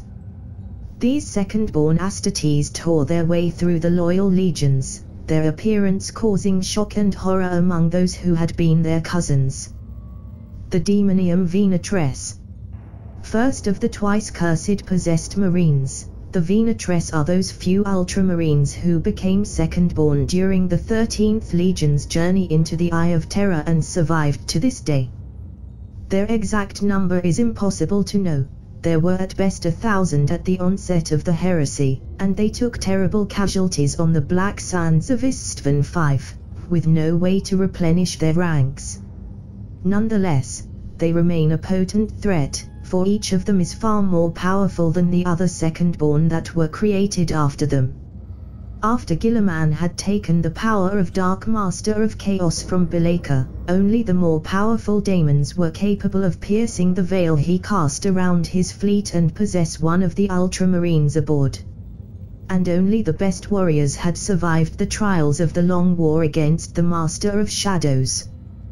Thanks to this, these unions of Astartes and Neverborn created beings of great power and skill. Up till the Battle of Isstvan V, the Venatress were capable of assuming their mortal form, hiding their monstrosity beneath plates. But when the first drops of loyal blood hit the sand, they lost control of their powers and transformed into the aspects they would assume until their dying days. Each Demonium Venator is different from the other, but they are all taller than even a Terminator Marine, with a variety of natural weapons and abilities. Among ultramarines, they do not lead, for their nature prevents them from commanding efficiently, they are often consumed by their hungers, or contemplate matters beyond mortal senses. They are instead employed as champions, paid in blood and souls. On the battlefield, they target the enemy's best warriors in order to devour their souls and add to their own power and standing in the eyes of the dark gods. After the remnants of the three loyal legions escaped the Isstvan system, Guilliman, convinced that they were broken forever, gathered his brothers. He asked that they advance on Terra together, destroying all loyalist worlds in their path, until they reached the throne world and he could challenge their father. But he quickly found out that his brothers had other plans. Lion El'Jonson wanted to go and bring the Wolf King to their cause. Jaghatai Khan was nowhere to be seen. Rogal Dorn and his sons wanted to get their revenge on all worlds fortified by the Iron Warriors. Sanguinius was lost to the madness Guilliman had plotted for him and unable to direct his sons, and Corax and Vulcan each had their own agenda. Only Ferrus Manus was both willing and able to keep his warriors at the Ultramarine side on their march to Terra. But despite this scattering of the traitor legions, the Imperium was still on the brink of destruction. Civil war raged on thousands of worlds as all of the Great Crusade's lords chose one side or another. The agents Guilliman had hidden among the Imperium's infrastructure also spread discord and confusion. At first, nothing seemed to be able to stop the advance of chaos toward Holy Terra, and the worlds that fell before the combined might of the 13th and 10th legions became dark wastelands, inhabited only by twisted mutants and cruel daemons, who fed upon the tormented spirits of the dead. With each planet that fell, the power of the Ultramarines grew, for more and more of their number were consecrated as champions of the dark gods and received their blessings in return for the sacrifices they offered in the arena of war. Of the loyal legions, two were trapped within the ruin storm and three had greatly suffered at Isstvan V. The Thousand Sons were still reeling from the destruction of their home world and the Iron Warriors had fought in the Olympian War and were embroiled in the conflict on Mars' surface. The Emperor's children were missing, though it seems even Guilliman was unaware of the Dark Eldar's actions, since he looked for the Third Legion during the entirety of the heresy.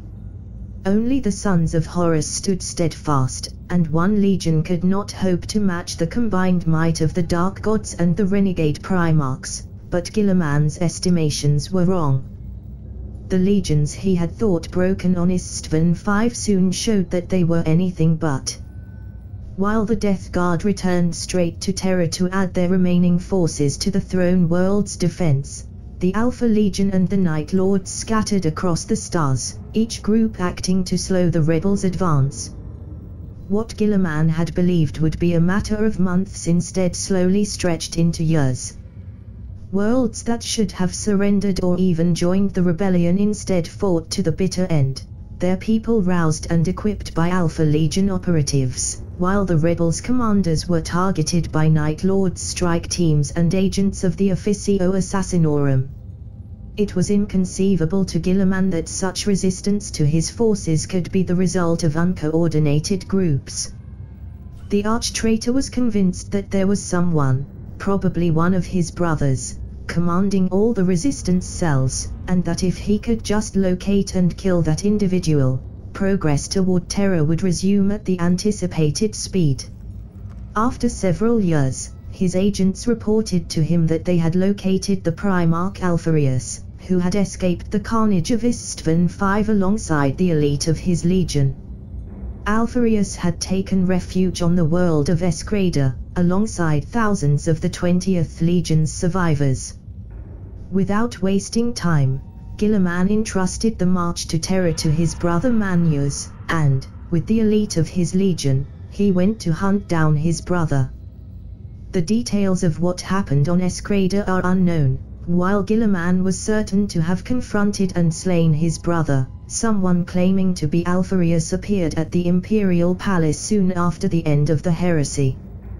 Furthermore, it wasn't the first time someone had thought they had killed the Hydra, already on Isstvan V, the elusive 20th Primarch had been believed slain. But whatever the truth, the command nexus on Eskrador was destroyed, and word that Alpharius had fallen spread across the galaxy. But unlike what Guilliman had expected, the loss of Alpharius didn't affect the resistance to his advance at all. If anything, the warriors of the Alpha Legion redoubled their efforts, their desire for revenge stoked by the apparent murder of their Primarch. What the arch-traitor had failed to see was that, unlike his own legion, the sons of the Hydra had been trained in individual thinking more than any other Astartes in the galaxy. While perfectly able to work together, each of them was an army in himself, a force capable of acting independently if the circumstances so required. Alpharius had directed some of the Alpha Legion cells, but not all, and even they had quickly adapted to the disappearance of their Primarch. It was only through a succession of grueling campaigns that, at long last, Guilliman's forces reached the Sol system. The arch-traitor called his wandering brothers to him, and they answered, sensing that the final battle was at hand. Forces from all traitor legions converged with the Ultramarines and Iron Hand's own fleets in order to confront the defenders of the throne world. The Siege of Terra. From his spies, both humans and demonic. Guilliman knew that Perturabo had built up the defenses not just of Terra, but of the entire Sol system. Dozens of asteroids had been hollowed out and turned into space forts, and the moon of Titan had become the fortress monastery of those who might very well be Guilliman's greatest threat, the Grey Knights. The arch-traitor knew little of these warriors, only that each of them had been handpicked by Malcador the Sigillite, and blessed with power from the Emperor himself. Guilliman was reluctant to engage them, and designed a plan that would deal with the system's defenses while also neutralizing the knight-errants. Guilliman selected forces from all nine legions under his command to be part of the first wave of attacks, including a full chapter of his own ultramarines and supported by hundreds of traitorous imperial regiments. These troops were given false information about the system's defenses, however, and they were slaughtered by the Iron Warriors' guns, while the rest of the Chaos Armada held back from joining the fray. All while his men died, Guilliman's sorcerers harnessed the energies of the massacre to cast a grand ritual that sundered the veil between the warp and reality, and summoned the very demonic fleet that the Ultramarines had fought in the Eye of Terror decades before. These daemon ships destroyed the system's outer defenses, and it is written that Be'lakor himself descended upon Titan at the head of a new demonic legion, hoping to restore his standing in the eyes of the Dark Gods by destroying the Grey Knights and preventing all the damage they would inflict to Chaos in the future. He failed, but the battle that the Grey Knights waged against him occupied them for the entirety of the siege, and prevented them from coming to the aid of the Emperor in his hour of greatest need. With all obstacles removed, the rest of the traitor forces entered the system, and the assault on Terra herself began. Tens of thousands of legionaries landed on Terra, accompanied by millions of traitor soldiers and scores of titans. Guilliman had devised a complex plan to bring down the palace's walls, but he lost control of his allies the moment they landed on the throne world's sacred soil. The Blood Angels attacked the civilian population of Terra, while groups of space wolves and white scars ignored their orders to attack on their own. Meanwhile, Horus and Perturabo directed the loyalist defenders of the palace with their combined genius, while Mortarion fought on the front lines and Magnus and his sons shielded the palace from the traitor's sorcery. Days passed without any progress being made, and Guilliman grew impatient the Neverborn were whispering to him of Lorgar and Angron's escape from the ruin storm, and their vengeful return to Terra. When they arrived, he would be forced to recall some of the legionaries on the planet to face the 12th and 17th legions in the space battle that would follow, which would create an opportunity he knew Horus wouldn't miss. Even when the War Master fell at Sanguinius Fangs, Perturabo managed to keep control of the combined legions, preventing the warriors of 16th from losing themselves to their thirst for revenge. Then the two legions Guilliman had lost trace of, the Night Lords and the Emperor's children, suddenly joined the battle. With the sons of Nostramo on the surface of Terra, the traitors' assault on the palace faltered, while the Emperor's children wreaked havoc among the renegade's fleet. Simultaneously, the sons of Horus counterattacked and slew the demon Primarch Sanguinius, taking nearly all of the Ninth Legion out of the fight. Seeing his chance to seize the Golden Throne slip away, Guilliman decided to risk everything on one last gamble. Through his never-born allies, the arch-traitor had learned of the webway entrance within the imperial palace, the heart of the god emperor's great work. If he could reach it and break the seals upon it, then he could unleash a demonic army that would consume all human life on Terra, but also give him the strength to face all the legions arrayed against him. Telling his allies that they were to perform a strike toward the Emperor, hoping to kill him and break the Loyalists' morale, he led one final assault on the palace's gates. While a distraction force drew Mortarion away, Guilliman took with him Rogal Dorn, Lion El'Jonson, and the elite of their respective legions, and tore away into the Emperor's sanctum. On his way, the Cavia Ferrum separated the three forces, with Guilliman and his Ultramarines alone reaching the Golden Throne. There, the arch-traitor confronted his father at last, while around them, Custodes fought against the elite of the 13th Legion. He expected to see hate. He should have seen hate. After all, he had betrayed everything the gods stood for. He had laid ruin to the god's dream, and damned mankind to an existence of fear and eternal war. And yet, he saw no hate in his father's eyes. He only saw sorrow and pity, and it drew him mad. The two of them clashed together, and history was written in the blood of a god and his fallen angel. Guilliman's power was fueled by all four Chaos gods, who saw this as their only chance at defeating the one being they feared in the entire galaxy, for he alone had the power to destroy them, in some potential future that might now never be. Weakened by the years of repelling the Dark God's attacks from the other side of the Webway Gate, the Emperor was unable to match his son's madness, and he was mortally wounded by the gauntlets of Ultramar, ancient weapons which had been reforged anew in light of Guilliman's change of allegiances, and now burned with the unholy flames of chaos. But just as his body was dying, the Emperor was saved by the arrival of Fulgrim, who teleported right in the midst of the battle. Wielding the sword that had been forged for him by his brother Ferrus in an earlier, happier age, the Phoenician struck at his traitorous brother with all the skill and hatred that animated his scarred form, and with a wordless cry, the tongueless Primarch brought low Guilliman's guard.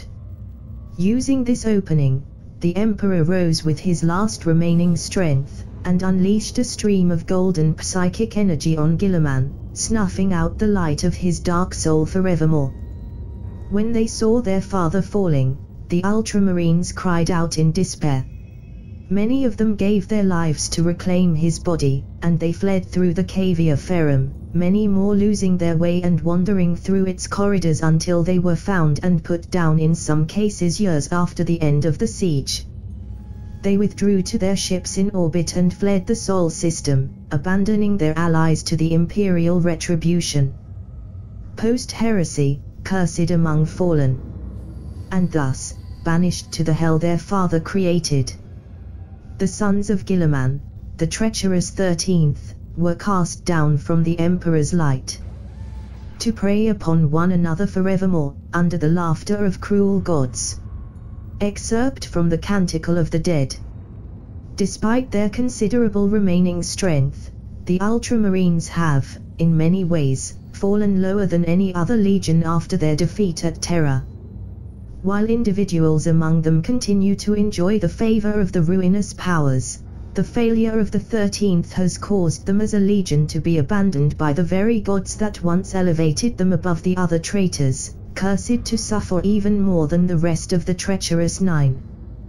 The first sign of that displeasure occurred soon after the siege of Terra ended in the Ultramarines' shameful flight. As the iron cage around the ruin storm was being completed, the Ultramarines commanders gathered on Macragge to discuss a common attack in order to prevent Perturabo's jail from being completed. The warlords met in the mausoleum of Guilliman within the fortress of Hera, so that the Primarch's spirit might guide their decisions and to ensure peace was preserved among the participants. However, just as the talks were about to begin, a fleet of Ultramarines vessels and Daemon ships appeared in system, attacking the ships each chapter master had brought with him. At the head of the armada was the reborn Marius Gage, elevated to demonhood and coming to destroy the corpse of the father who had left him to die. The Ultramarines who fought under him were similarly disappointed with their Primarch, and sought to free themselves and their brothers from the shackles of the past. The assault failed to ever reach Macragge's surface, but several of the Ultramarines' warlords were slain, and in the utter confusion that followed, it became clear that no one could unite the 13th now that its Primarch was lost to his sons. Some warlords chose to run, while others stood and fought, all on their own, refusing to take orders from others. Gage and his minions were pushed back and forced to flee, but at a far heavier cost than what was necessary. Blaming each other for their respective losses, the remaining lords separated on bitter terms, all hope of the Ultramarines coming together again forever shattered. Marius Gage, the sacrificed son. The name of Marius Gage is cursed both by loyalists for his part in the Shadow Crusade and Ultramarines for his actions since. Once, he was master of the 13th Legion's lauded first chapter, a commander of 10,000 Astartes the best of the whole legion. Before Guilliman was reunited with his sons, it was Marius Gage that led the entire 13th, with all the skill that could be asked of a legion master. His loyalty to his Primarch was absolute, but when he was ordered to stay behind on Calth and die so that Roboute's plans could be accomplished, something broke within the sacrificed son. The warp took advantage of that weakness, and poured into his soul, reshaping him into a rabid madman by the time Angron and Lorgar reached Calth. It was thought that Marius gave his life to unleash the ruin storm, and it appears that even he believed that the ritual that summoned the demon prince Samus would destroy him, but the dark gods had other plans. For his part in unleashing the ruin storm, Marius Gage was elevated to the rank of demon prince. His devotion to Guilliman turned into hatred, and when he finally emerged from the warp after the end of the heresy, he swore to destroy the heritage of his gene-sire. After his failed assault on Macragge 10,000 years ago, he retired to the world of Calth, which he rules from orbit in his demon ship, a space hulk named the Sorrowful Whale. Under him serve the Ultramarines who grow disillusioned with Guilliman and seek out a new master, as well as renegades from other legions who have fled into the ruin storm. These renegades come from other traitor legions, but also from those whom Primarch remained loyal to the Emperor, in a blasphemous echo of the very unity Guilliman's betrayal murdered. Gage still seeks to unite the Ultramarines under his command, believing that he is the worthy inheritor of Guilliman, as the only Legion Master left. To this end, he still thinks that he must destroy Guilliman's body, in order to crush any lingering hope among his brothers that their father will one day return as well as to satiate his unholy thirst for vengeance. A thousand years after the failed attempt of the chapter masters to reunite the Legion, word spread within the ruin storm that the Imperium was weakened. The War of the Beast had just ended, and the Imperium had greatly suffered against the Orcs. Countless worlds had been lost, and total collapse after the beheading had only been avoided thanks to the timely return of the Primarch Angron. The time was perfect for a Black Crusade of unprecedented proportions, one that would shatter the Iron Cage and allow the Ultramarines to roam the galaxy freely once again. A powerful demon prince, risen from the ranks of the 13th Legion, launched this Black Crusade, uniting many chapter masters and their warbands under his supreme command. Known only as the Ascended One, this creature led thousands of ultramarines and millions of mortal soldiers. They crushed the worlds of the Iron Cage, weakened by recent attacks from the Orcs, and prepared to continue their advance onto the worlds of the Imperium. However, even as these planets' defenders prepared to fight to the last against enemies that far outmatched them, salvation came from the most unlikely of place. In the Eye of Terror, the eight traitor legions had also sensed the weakening of the Imperium. an alliance had been formed, and another Black Crusade had begun, piercing through the Cadian Gate once more reducing Cadia to burning slag. The newly inducted High Lords of Terra saw this resurgence of chaos, and feared that the Imperium had only survived the coming of the beast to fall at the hands of the archenemy. However, the Crusade force from the Eye converged to the galactic east, straight to the ruin storm. Medused, the Imperium watched as the two Black Crusades destroyed each other. The traitor legions of the Eye remembered well how the Ultramarines had failed them during the Siege of Terra, when they had fled the battlefield as soon as their Primarch had died. They also remembered how Guilliman had sent so many of their brothers to die in order to weaken the defenses of the Sol system and thin the veil between realms, all for nothing in the end. To these treacherous souls, nothing had more importance than revenge, even the chance to destroy the Imperium in its hour of weakness. An entire sector of space served as the battlefield between the two Chaos Armadas, with hundreds of Imperial worlds burning in the crossfire. The demon Primarch Corax, leaving his demon world for the first time since the heresy, fought against the Ascended One in single battle, and the two demon princes destroyed each other's material form, banishing their spirits back to the Eye and the Ruin Storm. In the end, the Imperial armies came upon the remnants of the two hordes, and forced them back into their respective iron cages. The fortress worlds that had been destroyed were rebuilt, and the whole event came to be known as the Unborn Crusade. The last of the setbacks endured by the Ultramarines came from a source none could have predicted, perhaps not even the Dark Gods themselves. In the 8th century of the 41st millennium, several worlds of the Iron Cage were lost, not to the Ultramarines or their demonic allies, but to an outside force, the Hive Fleet Behemoth. While the Imperium has faced other breeds of Tyranids in the past, this particular hive was apparently drawn to something within the ruin storm, for as soon as it had devoured the worlds of the iron cage in its path, it entered the warp storm, never emerging again. From what we know, the bioships were scattered by the warp currents, and the hive mind was brutally destroyed by the storm, reducing most of the Tyranids to mindless beasts. Still, their numbers were such that when they reached demon worlds, the masters of the cursed planets had to use all their strength to defeat them.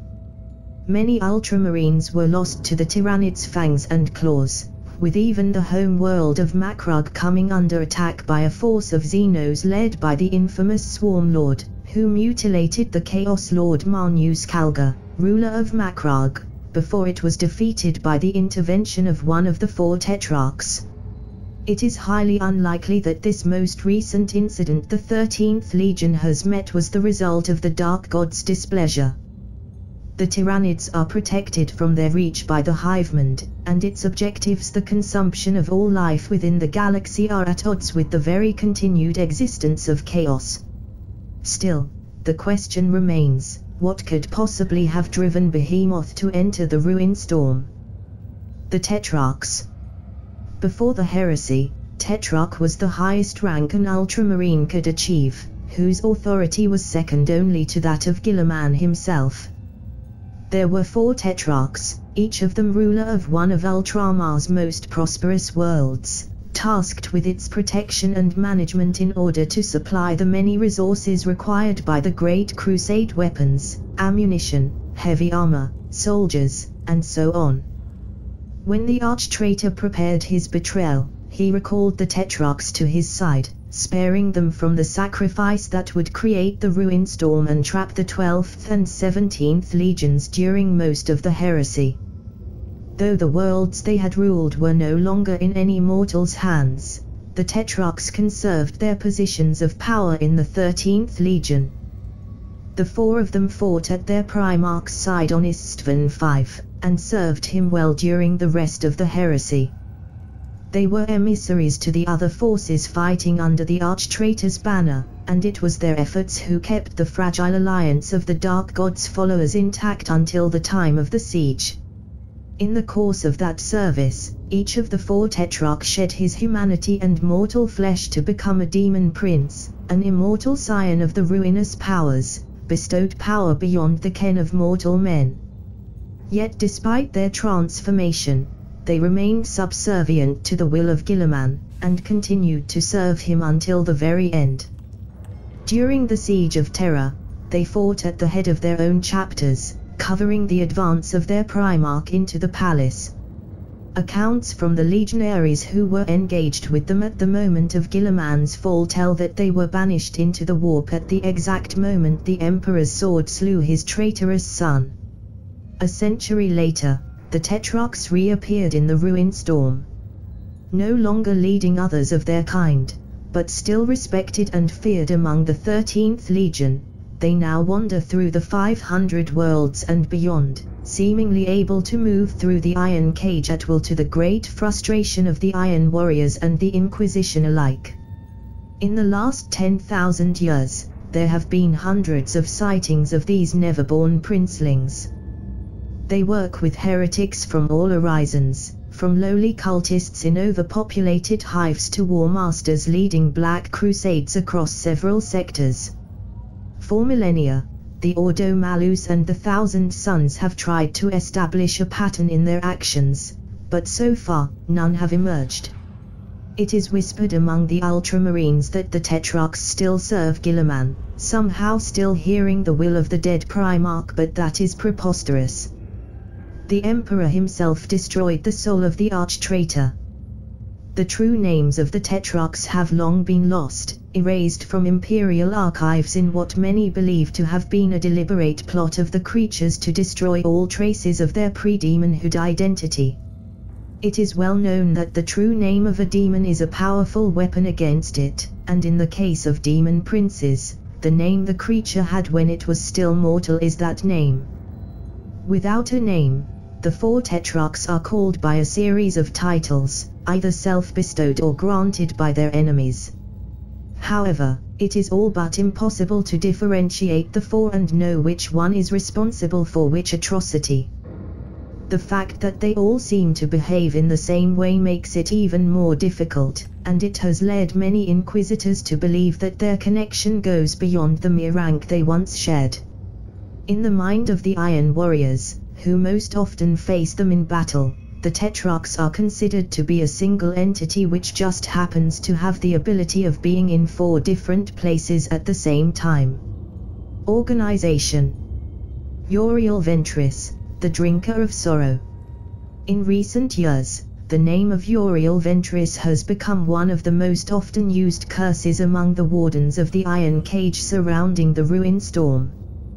Born on the thrice cursed demon world of Calth, Uriel grew in the underground caves of the blighted planet until he was noticed by the Ultramarines Warband who owned his entire clan. After his transformation into a legionary, he displayed great wit and martial skill, quickly rising in prestige and influence.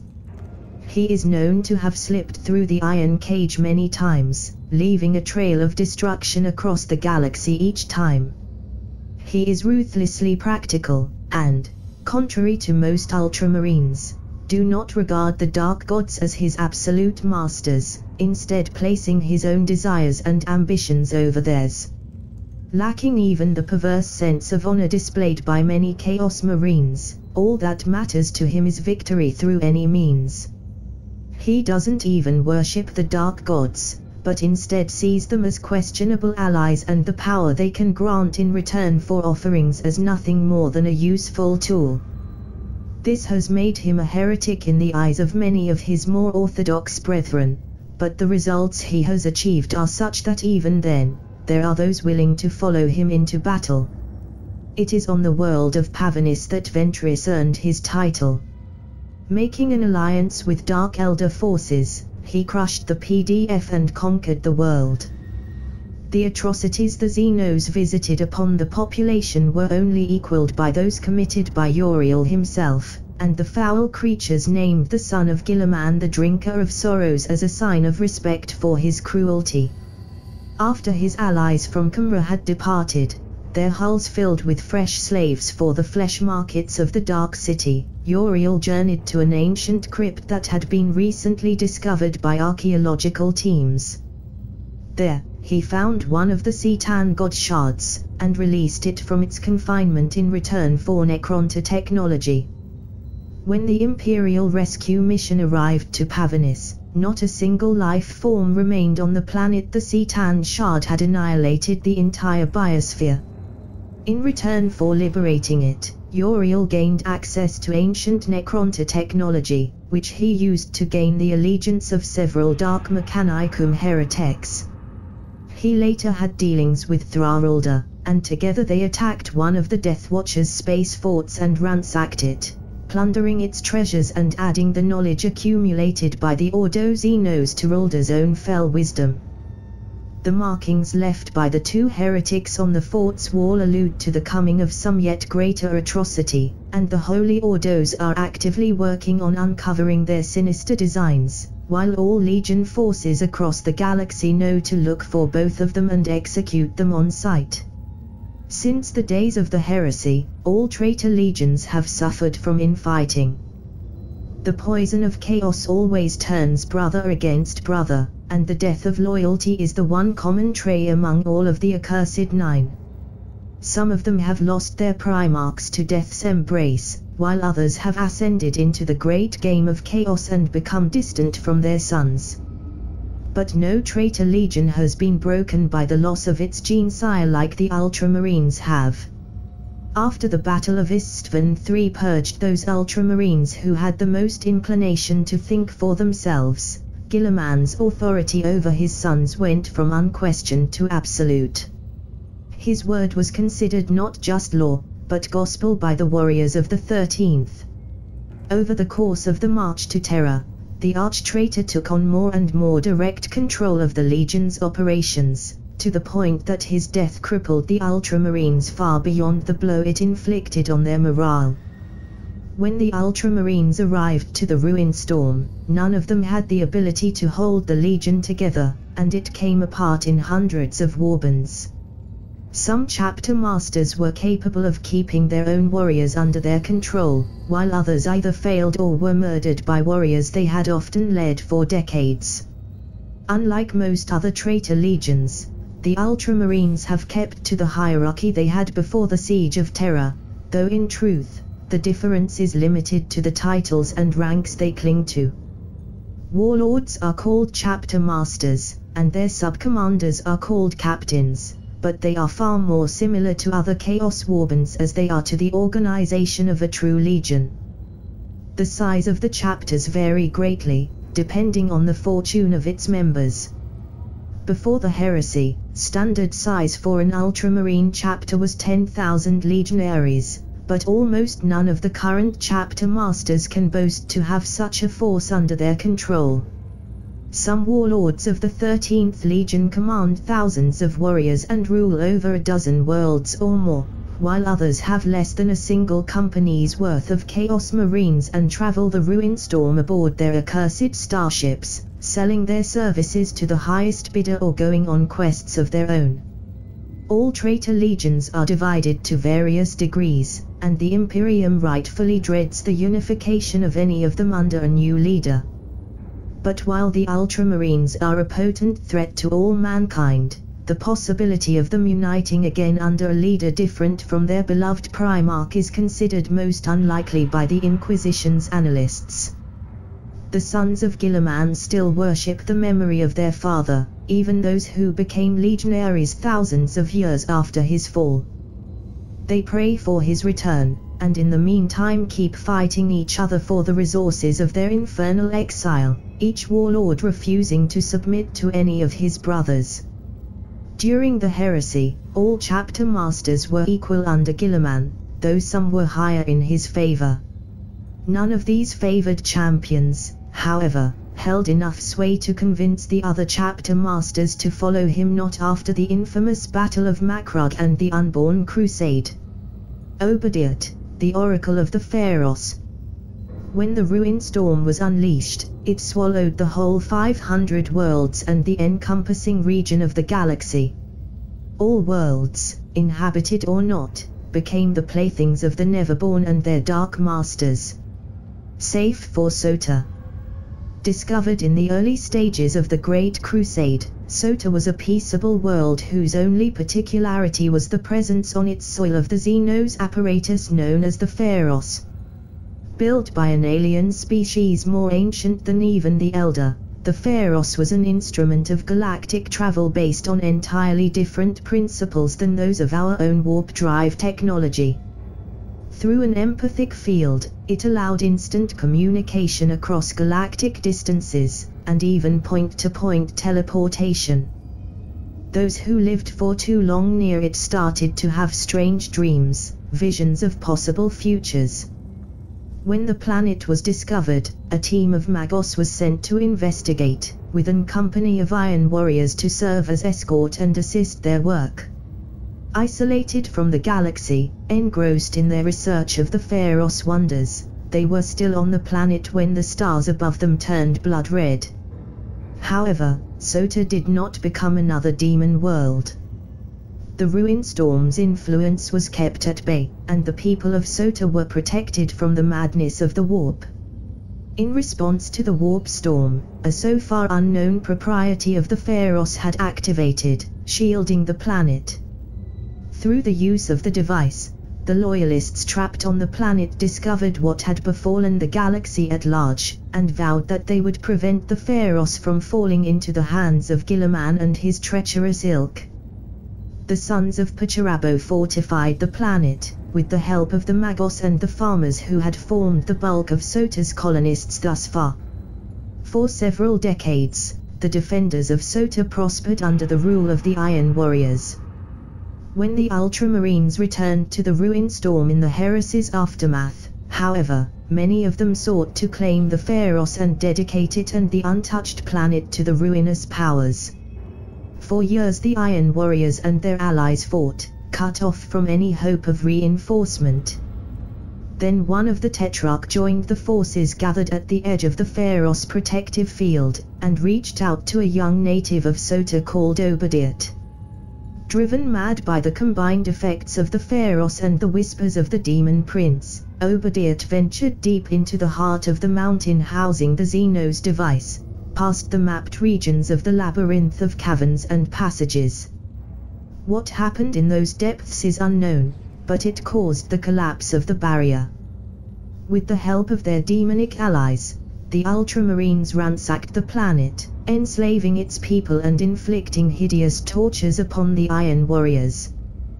The Tetrarch led the assault on the Pharos itself, and performed a ritual that destroyed the ancient device and erected in its place a monument to Tzeentch, the architect of fate. Within it, he placed what remained of Obadiat. The energies of the warp healed the young man's mind, and, obeying the Tetrarch's last order before he disappeared once more, the Ultramarines inducted him into their ranks. Since that day, Obadiah has become known across the ruin storm as the Oracle of the Pharos. His exposition to both the device and the power of the Great Conspirator have granted him a powerful prophetic gift and psychic powers. He now wanders the 500 worlds with an escort of daemons of Tzeentch and followers both ascetes and cultists. Sometimes, he sells his services to another warlord, demanding strange payments, arcane tomes, favors, and other relics, and even sometimes fighting without demanding anything in return. On the few occasions he has taken parts in attacks on the worlds of the Iron Cage, his presence had enough of an impact for the Inquisition to grow an interest with him he is on the list of priority targets of the 4th Legion around the ruin storm. Home World Despite the horrendous destruction unleashed by Guilliman in his attempt to destroy the World Eaters and Word Bearers, the 500 worlds still endure, after a fashion. Those not lost entirely to ravening hosts of daemons are coveted prizes in the endless wars between ultramarine warbands. All of these worlds are in a state of constant flux, with immense fortresses being raised and brought down through warpcraft and more mundane means in equal measure. Yet no ultramarine will deny that the true home world of the Legion remains Macragge, even 10,000 years after the heresy. The fact that the Ultramarines have retained control of their original home world while the other traitor legions have been forced to seek new ones in the Eye of Terror is yet another source of hatred between the sons of Guilliman and their former comrades. The 500 worlds are a catalogue of madness and corruption, but even among them, three planets stand out, both for their infamous history and the power they grant to the warlord who control them. First among these is Macragge, home world of the Legion.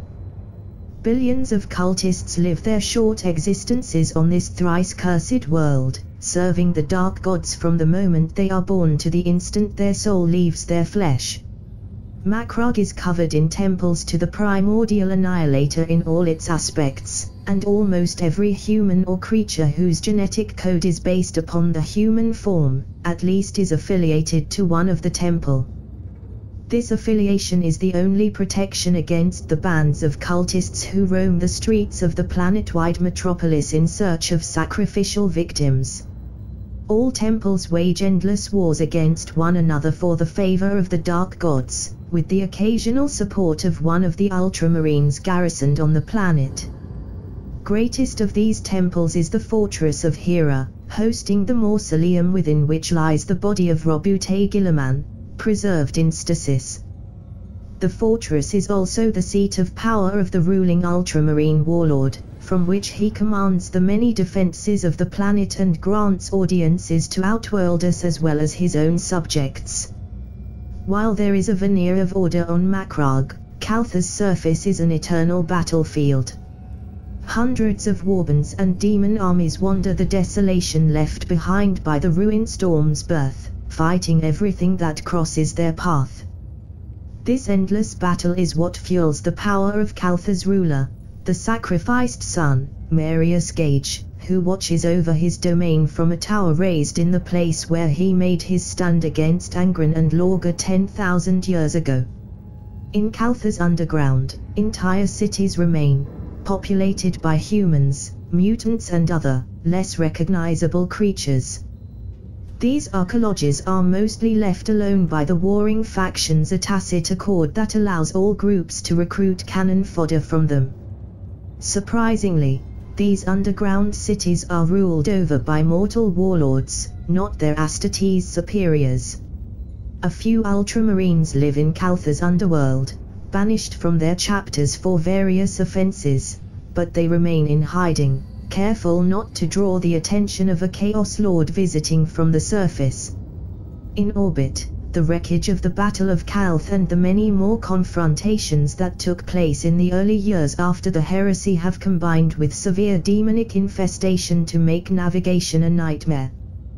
There are always a few paths to the surface, but it is impossible for ships to fight properly above Calth a cast of pilots and navigators have settled among the derelict ships, lending their services to those warlords who want to bring their forces down on the planet for a fee.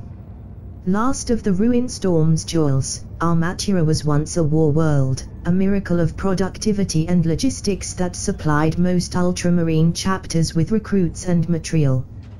It is now the domain of the Dark Mechanicum heretics, who perform blasphemous experiments, seeking to fuse flesh, metal, and the power of the warp. The demon engines of Armatura are highly prized among the chapters, and they will pay whatever price the Dark Magos demand to obtain them as long as a handful of Magos are added to the bargain to maintain and control the infernal creations. All Warbands respect the planet's independence, some out of genuine respect, most because of the enormous orbital defenses and armies dedicated to preserving the planets from the clutches of greedy Chaos Lords. There are several forge cities on the planet, each under the control of the Dark Mechanicum equivalent of an Archmagos. Though they are divided by theological feuds and rivalries, they invariably put aside their differences every time their world is threatened. Marneus Calgar, the Lord of Macragge, the throne of Macragge is ever contested by various Chaos Lords, and it is rare for any to sit upon it for long. Yet it has been more than a hundred years than Chapter Master Marneus Calgar has seized the position from his predecessor's cold dead hands, and despite many attempts, no challenger has succeeded in replacing him. Gifted with an uncanny grasp on tactics, he is also a master politician, keeping the various factions of Macragge at each other's throat in order to prevent the rise of any capable of truly challenging his power. As the wearer of the fabled gauntlets of Ultramar, he is a powerful warrior, carrying with him the remnants of the Dark God's blessings upon the arch-traitor. When a tendril of Hive Fleet behemoth reached Macragge, it was Calgar who led the defense of the Ultramarines' home world. He fought against the Swarm Lord in single combat, and though he was able to injure the creature, it proved to be his superior, and left him maimed and on the verge of death. In a surprising turn of events, the crippled Chaos Lord wasn't killed by his followers, but instead brought to his heretics and apothecaries, who healed his wounds and replaced what he had lost with corrupt cybernetics. Now harder to kill than ever, and with his hold on Macragge secured by his ultimate victory against the Tyranids, Marneus has started to turn his gaze outward, to the rest of the 500 worlds and perhaps even beyond the walls of the Iron Cage. Beliefs. Codex Chaotica. Written by Guilliman during a period of time stretching from his emergence of the Eye of Terror to his demise in the Imperial Palace, the Codex Chaotica, also known as the Book of Guilliman, the Accursed Tome, and a myriad other fell names, contains the sum of the arch-traitor's knowledge of both chaos and military strategy. It is both a religious text, describing the nature of the dark gods, the daemons that serve them, and a tactical manual used by the 13th Legion. During the heresy, the codex was constantly updated, each book across the galaxy altering its contents to match the copy Guilliman himself was writing into. And yet, even after Guilliman's death, the book has continued to update itself, with new rites and knowledge about other Neverborn appearing within its pages. Many Ultramarines take this a sign that their father yet live, and that he communicates with them through the Codex, guiding them in their eternal war against the Imperium. They embrace its teaching fanatically, hoping to become closer to Guilliman through it. In the past 10,000 years, many inquisitors have attempted to secure a copy of the Codex, seeking to use the knowledge within its pages against the ruinous powers and their minions. All of them went insane as the madness of the book poured into their souls, and while many took their own lives or were reduced to gibbering wrecks that were put out of their misery, many others were consumed by the lies of chaos and went rogue. In response, more puritanical members of the Holy Ordos have taken up the policy of systematically destroying every copy they come across, a practice that was already followed by the warriors of the loyal legions since the heresy itself. Yet in spite of their efforts, new copies are written on Macragge, by minions of the dark gods that sit beneath Guilliman's mausoleum and are inevitably consumed by the unholy knowledge they pour onto the pages of human skin upon which they write in blood with quills made of the bones of loyal space marines. To be an ultramarine is to be not only touched by the madness of chaos, but consumed by it. While other Chaos Marines retain a modicum of sanity often just enough to know, deep inside, that they have become monsters, and hate themselves for it as much as they hate most of the rest of the galaxy the sons of Guilliman glorify in their unrivaled corruption. They do not commit atrocities for shock value, hoping to break the enemy's morale, they do it because it pleases them. They do not embrace the path of chaos for the power it brings, but because they genuinely believe in its dark philosophies. As a legion, the Ultramarines follow the path of chaos undivided. They worship all four dark gods as the absolute masters of the galaxy, reflections in the sea of souls of mankind's true nature. Through the union of the Materium and the Warp, they believe they can achieve a state of perfect harmony, with the anarchy of the Warp controlled and directed by the will of immortal, transcendent souls. possession is an illustration of that belief, as is the ruin storm and other warp storms. To them, demonhood is the ultimate form of existence, and the destiny manifest of all mankind once it had shed itself of the unworthy and the weak. This belief is the reason why the sons of Guilliman seek to become second-born and demon princes far more eagerly than other traitor legions, despite the risks. Similarly, chaos spawns are numerous among the Ultramarines, due to their relentless pursuit of demonhood. They are seen as expressions of the dark gods will made manifest, and reminders that there is a price for failing to match the standards of ascension. Of course, the displeasure of the dark gods toward the 13th Legion makes such dark apotheosis very rare among the Ultramarines.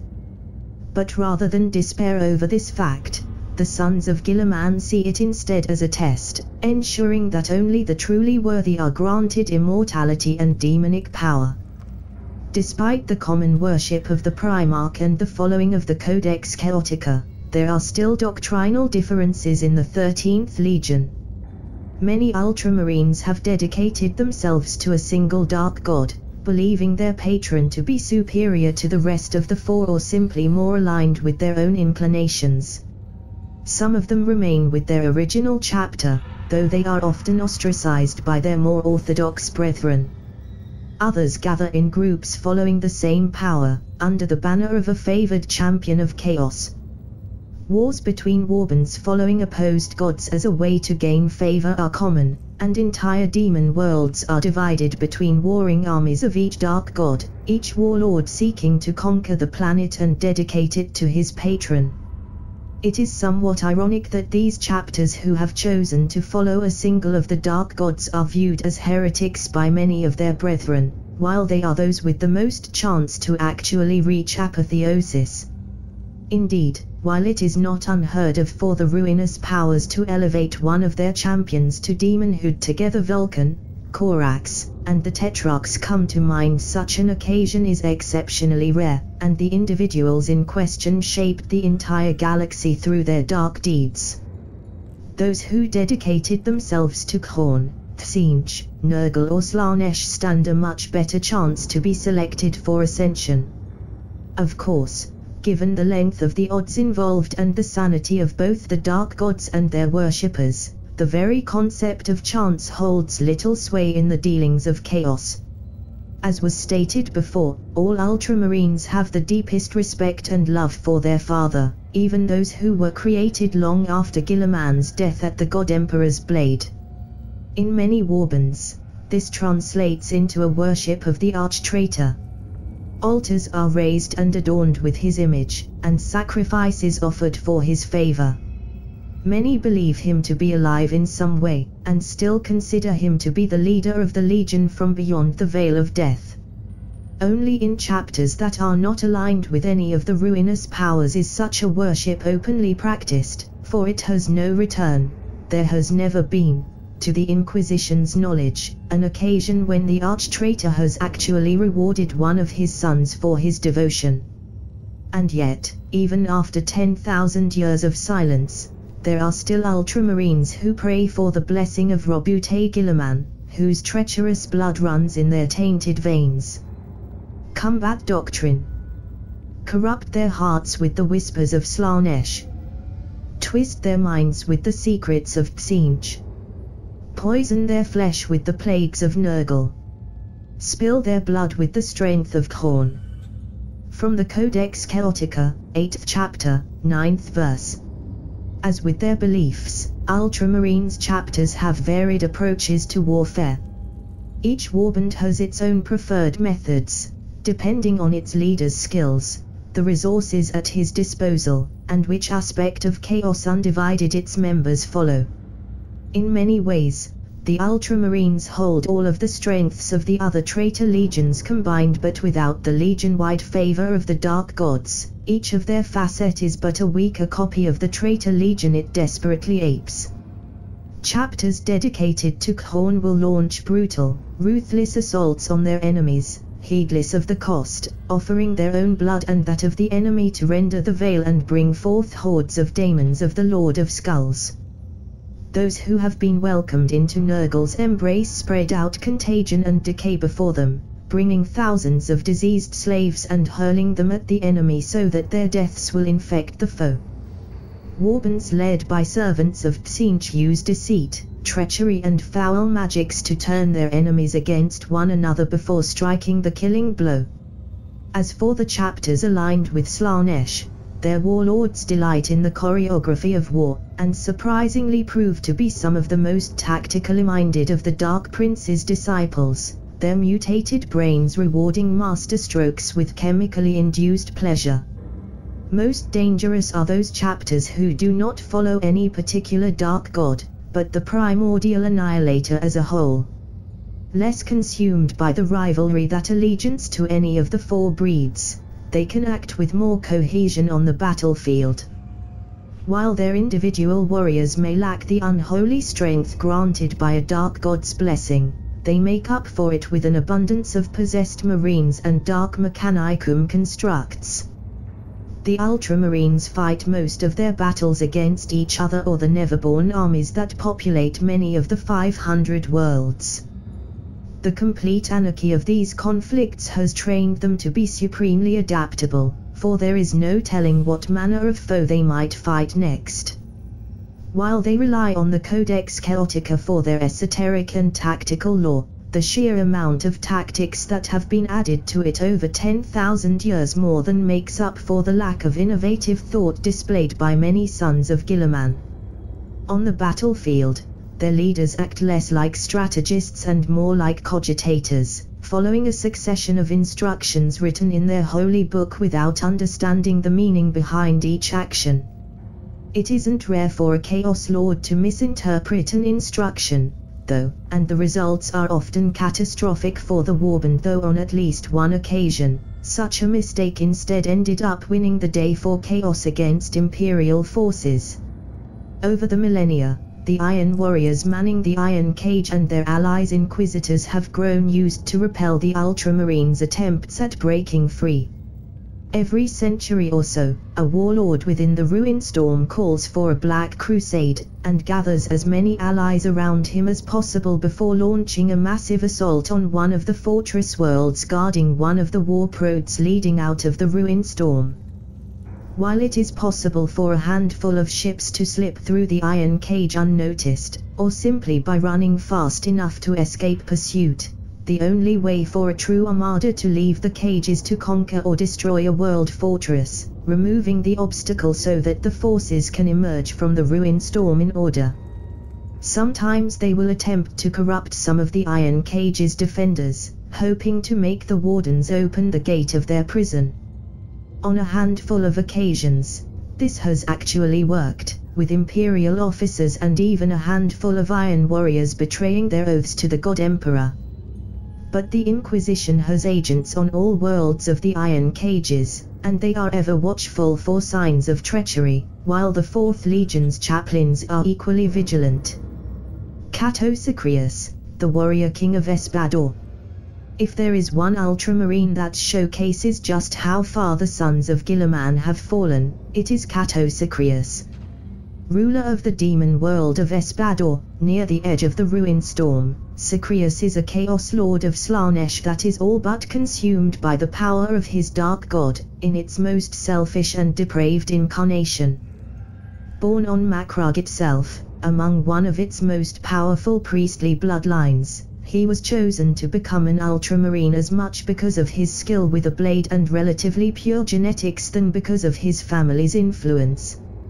His immense pride and self-importance caused him to be quickly marked by the Dark Prince of Chaos, and he rose through the ranks not because of his tactical acumen but almost exclusively because of his skill with a blade. In time, he became the champion of Marneus Calgar, the chapter master ruling over the Ultramarines' home world a position of extreme honor in the Legion. But simply being a champion wasn't enough for Sicarius' ambitions, and he sought to overthrow his lord and replace him as master of Macragge. His coup failed pathetically when half of his followers turned against him on the eve of the confrontation between him and Marneus. For his betrayal, Marneus banished him from the home world with his followers, confident that one of them would kill the upstart champion soon and spare him the trouble of ordering one of his brothers killed himself. As the chapter master had predicted, Sicarius' confederates turned on him almost as soon as their ship left Macragge. But the champion managed to defeat all of his would-be assassins, and quickly found himself the only legionary aboard the Chaos ship. After months of errance, the tides of the warp delivered him to the world of Espandor. The world was under the control of several Chaos Lords of Khorne, who had formed an uneasy alliance so that they might focus their efforts on their raids on the Iron Cage in the name of their god. Sicarius' ship crashed onto the planet, with the Chaos Lord as the only survivor. When the salvage parties of Espandor's Blood Lords arrived, he let himself be taken prisoner and brought to the city of Corinth, from which the lords of Khorne ruled the planet. There, he freed himself and escaped, before allying with a corsair queen named Karja Salumba. Together, they overthrew the eight bloodlords, and turned Espandor to the worship of Slaanesh. Ruling alongside the pirate queen, Sicarius has since led a series of raids against both other demon worlds and imperial targets, always choosing targets that were poorly defended and with a lot of potential slaves for the flesh pits of Espandor. Despite his position of power, he is hated among the Ultramarines for his arrogance despite his exile he still genuinely believes that he is destined to rule the Ultramarines and bring them to the worship of the Dark Prince and leads a warband of corrupt mortals rather than other Chaos Marines. Recruitment and Gene Seed Despite the hellish conditions of the Ruin Storm, many of the 500 worlds are capable of sustaining a human population. None of them are spared the touch of the warp, however, and the rampant mutations among these souls, practically damned before they are even born, make it difficult to find subjects genetically strong enough to survive the transformation into an Astartes. Still, with hundreds of worlds to draw upon, the Ultramarines have managed to maintain their numbers through 10,000 years of brutal infighting and failed attempts at breaking free of the Iron Cage. On the occasions when an ultramarine warband breaks free of the iron cage and conquers imperial territory, the apothecaries among its number will echo the ancient practice of the Legion, taking the children of their defeated foes to add them to their genetic stock. This influx of untainted blood is probably the reason, beyond the use of warpcraft, that any new ultramarines can be created at all. Each chapter has its own group of apothecaries, tasked with ensuring the future of the warband. They harvest the gene seed of the fallen and implant it into new Chaos Marines, but they are also tasked with finding human specimens genetically pure enough to allow the transformation. Wars have been fought in the Ruin Storm between chapters for control of untainted recruiting grounds. Ironically, these battles often result in the human population being infected with the corruption of chaos, making the losses suffered by both sides entirely pointless. No ultramarine lives who is free of mutations, but all of these are inflicted by the dark gods to reflect the warrior's inner soul unto his physical form, not due to a corruption of the gene seed itself.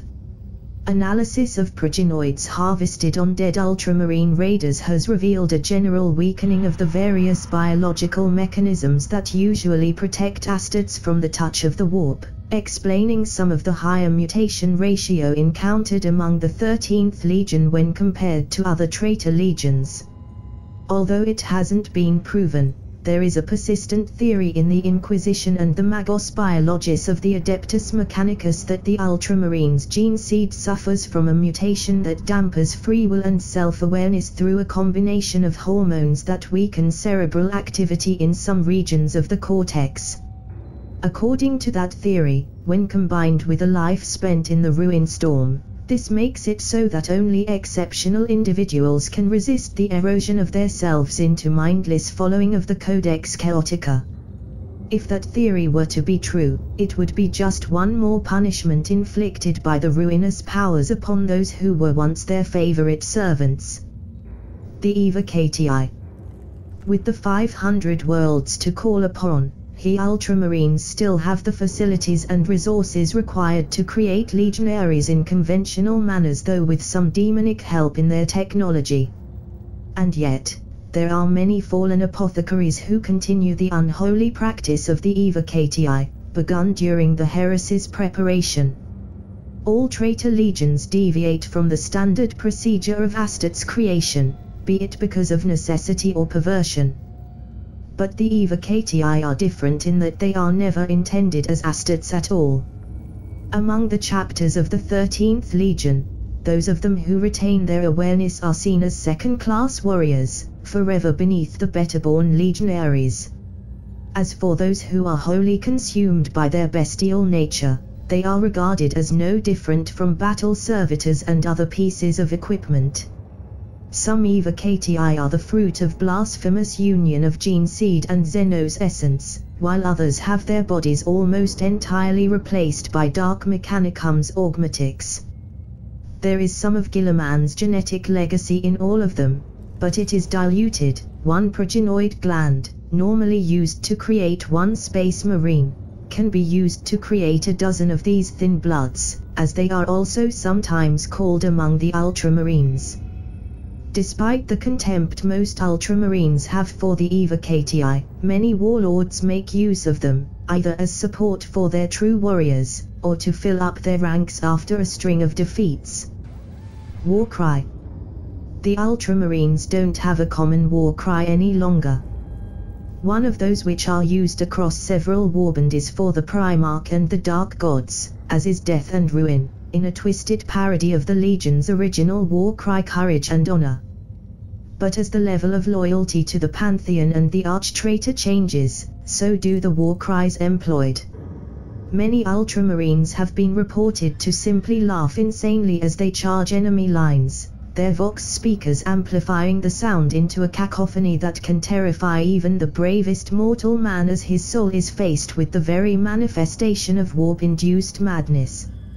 Other times, they broadcast the names and titles of their leader, seeking to increase the Warband's reputation among the Imperium and through it, its standing in the eyes of the Dark Gods. Warriors who seek glory for themselves will shout their own names, while others sing unholy hymns of praise to their demonic masters, listing the name of their patrons so that their victims know to whom their souls will go. Such is the corruption of the ultramarines that merely listening to them can and has many times in the past, drive someone into heresy. The foulness of the Chaos Marine soul is rumored to overspill from their physical presence, tainting all those who establish contact with them even if that contact is limited to hearing their insane braying. To counter this, the Iron Warriors have installed powerful speakers of their own on their garrison worlds around the ruin storm, and all human soldiers are required to wear ear protectors whenever faced with the treacherous sons of Guilliman. I am alive. My body is frozen, suspended out of time in the moment before my hearts beat their last. My soul lies forever on the threshold of death, halfway between the world of flesh and blood and the realm of thoughts and beliefs. The pain of my wounds fills my every cell, its intensity never fading for one moment. And yet, despite this unending torment, I am alive. Though my eyes are blind, I see the galaxy with a god's sight. The souls of those who carry my blood within them are candles in the vast darkness of space, and I watch them as I try to ignore the agony of my broken body. They have grown weak in my absence, even weaker than they were when they failed me all this time ago. They think me dead, and they pray for my resurrection, blind to the truth that is exposed before them. I am alive. My loyal tetrarchs walk in the shadows of reality and unreality alike, listening to my silent voice and doing my will. They seek out these few among my sons who are yet worthy, and guide them down the path of greatness. They hunt down those who stand in the path of my return, and usher in their downfall. The Imperium thinks me dead, but my father on his throne knows. I am alive. The thorns I left in the Imperium's side heed my call in their sleep, and plot to bring its corrupt edifice down from within. Many have fallen prey to my father's hounds, but those who remain are strong stronger than most of my failed sons will ever be.